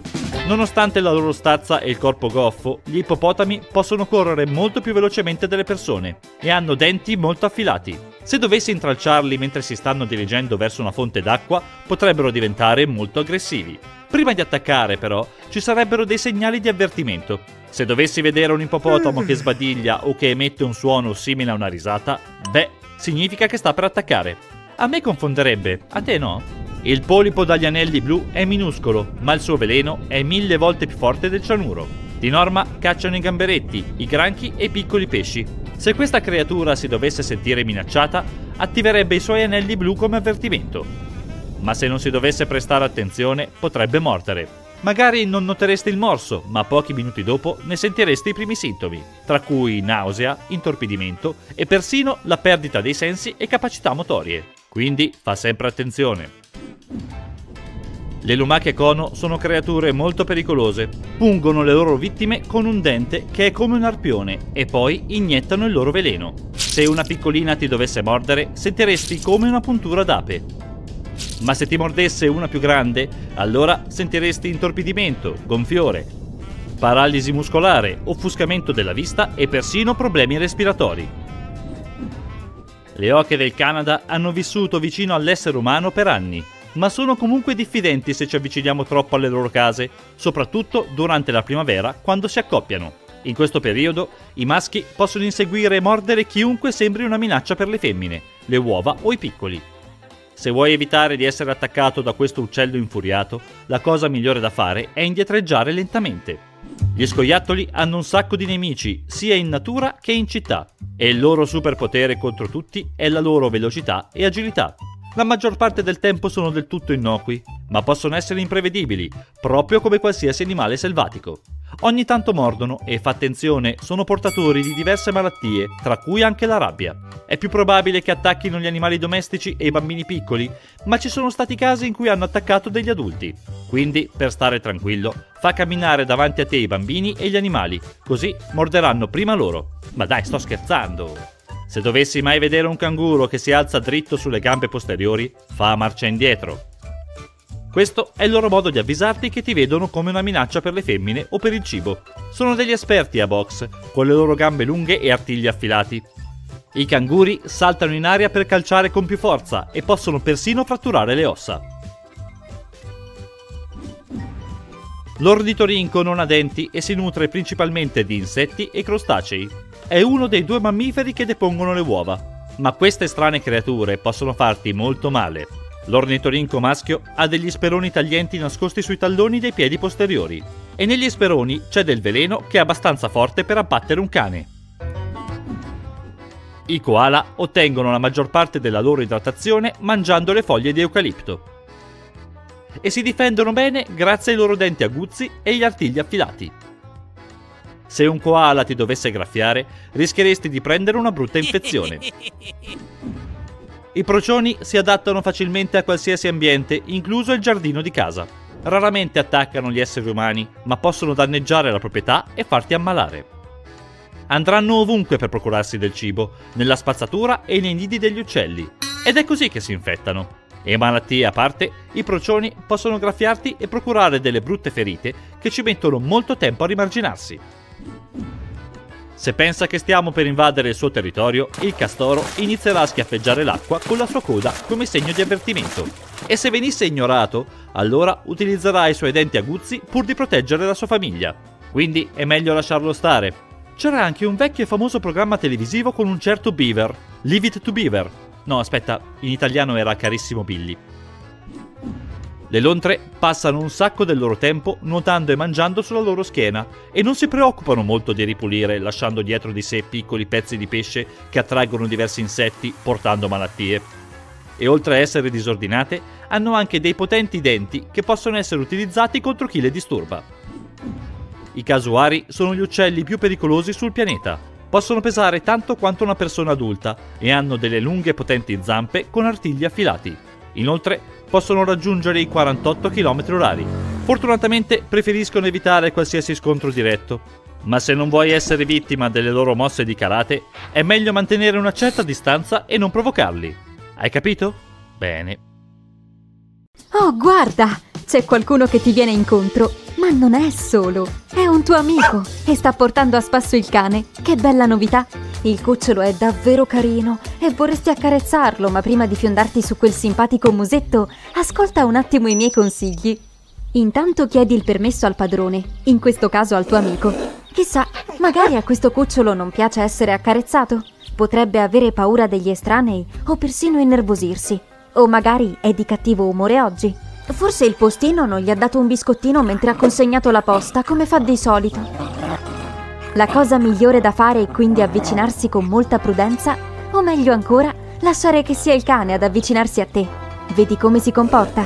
Non farti prendere dalla smania di accarezzarlo, non fare movimenti bruschi e non mostrare paura. Il cane potrebbe spaventarsi a sua volta oppure mettersi sulla difensiva. Non vorrei mica partire col piede sbagliato se vuoi fartelo amico, giusto? Per capire se il cagnolino è interessato a te, fai una cosa. Ignoralo. Suona un po' un controsenso, vero? Ma pensaci un attimo, sei lì in strada a chiacchierare con il tuo amico e il cane è come se non esistesse, cosa che il nostro fido tollera ben poco, quindi per tornare al centro dell'attenzione ti si avvicinerà. A quel punto il più è fatto, sta a te adesso decidere come rispondere, ma ricorda, non guardarlo mai dritto negli occhi. Tra le persone è considerata buona educazione guardare qualcuno negli occhi mentre si parla, giusto? Ma nel mondo dei cani è tutto l'opposto. Il contatto visivo diretto è un segnale di sfida, tanto che se lo fai, il cane potrebbe vederti come un nemico, o quantomeno come un gran maleducato. Ok, sei riuscito a rompere il ghiaccio e ad avvicinarti a questo simpatico cucciolone. Adesso lui ti annuserà. Rilassa la postura ma lentamente per non spaventare il tuo nuovo amico. Sempre lentamente allunga la mano. La prima volta col palmo rivolto verso il basso e il pugno leggermente chiuso non si sa mai.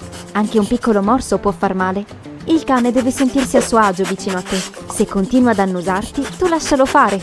Deve studiarti per bene per potersi fidare. Può succedere che il cucciolo dimostri fin troppo entusiasmo cominciando a saltellarti intorno e leccarti la mano. Resta calmo. Se la situazione ti mette a disagio, ti basterà girarti lentamente dalla parte opposta. Meglio ancora se incroci le braccia. Un segnale inequivocabile che farà subito perdere interesse al cane nei tuoi confronti e lo farà tornare tra le braccia rassicuranti del padrone, che provvederà poi a calmarlo. Se cominci a rivolgere al cane qualche parola, fallo nella sua lingua o non ti capirà. ok, si scherza. Piuttosto usa sempre un tono di voce calmo e rassicurante. Ok, adesso la parte migliore. Siete diventati amici e puoi accarezzarlo. Senza esagerare, ovviamente. Fai sempre tutto piano e senza movimenti bruschi. E non carezzarlo sulla testa. Il cane ha bisogno di vederti la mano per stare tranquillo. Come dargli torto, poi? Nemmeno a te farebbe piacere sentirti colpire in testa da una mano invisibile, giusto? Accarezzargli orecchie e collo è la mossa più sicura. I cani adorano anche un bel massaggio sulla schiena. Mentre lo carezzi fai sempre attenzione al suo comportamento. Se assume una postura leggermente incurvata, agita allegramente la coda e si mette a camminare intorno a te, buon segno, gli vai a genio. Un segno ancora migliore? Un cane che si abbassa e comincia a distendere le zampe. Significa che è totalmente a suo agio e pronto a giocare con te. Attenzione invece ai comportamenti che indicano che il cane Beh, non gradisce la tua compagnia. Se mostra i denti e ti ringhia contro, vuole che resti a debita distanza da lui. Stessa cosa se vedi che tiene la coda dritta, segno di nervosismo. Un altro modo con cui i cani esprimono disagio è sbadigliandosi. Ricorda sempre che anche un cane ha bisogno di spazi personali e devi rispettarli, ovviamente. Di ritorno a casa, ecco il tuo cane sulla soglia ad aspettarti felicissimo di rivederti, ti saltella intorno e ti lecca la faccia. Il suo migliore amico è tornato. Per farti voler bene ancora di più, ogni tanto abbassati o sdraiati sul pavimento con lui. E quando lo fai, non fargli mancare attenzioni e affetto. I cani lo adorano e ricambieranno il tuo affetto due volte tanto. Magari non ti piace l'idea di avere la faccia impiastricciata della saliva del tuo cane, ma è per una buona causa, giusto? Guarda quanto è felice. Un altro modo per renderlo felice è quello di giocare con lui, magari facendogli rincorrere una pallina da tennis. Ma va bene qualsiasi altra cosa, anche una bottiglietta di plastica. Oppure il grande classico, un bel rametto da fargli riportare mentre siete al parco. Ogni volta che te lo riporterà, si metterà a scodinzolare tutto orgoglioso. Magari sarà lui stesso a portarti un ramo. Non deluderlo e gioca con lui. Continua a lanciarlo, il tuo cane non si stancherà mai di riportartelo e ogni volta più rapidamente. Oh, guarda, ti ha portato anche un rametto extra, oh che carino! Divertimento doppio. Nei parchi spesso ci sono anche dei laghetti. Alcuni cani adorano l'acqua. In questo caso non perderà mai l'occasione di fare un bagno, non importa se sia in un lago oppure al mare. Fa attenzione però, assicurati che il tuo cane sappia nuotare. Le prime volte infatti tuffati anche tu insieme a lui. Se vedi che nuotare non è il suo forte, puoi comprargli un giubbotto salvagente per cani. Abitualo a tenerlo indosso prima di portarlo a divertirsi in acqua. E ti ricordi quando con i tuoi amici giocavate a nascondino tutto il giorno? Beh, indovina, anche il tuo cane adora giocare a nascondino. Un gioco molto utile per tenere sempre ben allenato il suo senso dell'olfatto. Come sa bene chiunque abbia mai portato a spasso un cane, gran parte della passeggiata con lui consiste nell'annusare tutto quello che incontra. Nasconditi da qualche parte e chiama il tuo cane, ti troverà subito. Dapprima si guarderà in giro un po' confuso e poi ti troverà e si divertirà un mondo. È molto importante poi farlo interagire anche con altri cani, specialmente quando sono ancora cuccioli. Non tirarlo mai via nel caso incroci altri cani durante le passeggiate, falli giocare invece insieme. La vita sociale è importante sia per noi che per loro. Per un cane conoscere una persona nuova è un evento memorabile. Un tuo amico che ti fa visita un pomeriggio intero, ad esempio, per il tuo cane significa festa. Non trascurarlo, quindi. Ogni tanto invita a casa persone che hanno altri cani e a fine giornata magari sarà esausto come te, ma senza dubbio sarà anche felicissimo. Il mio è un cane da compagnia, gli piace accoccolarsi addosso a me ogni volta, pure quando ho già il portatile sulle ginocchia. Non che a lui interessi granché il mio lavoro. Davanti a quel musetto così carino ogni volta mi arrendo, metto via il computer per qualche minuto e gli do tutte le coccole che merita.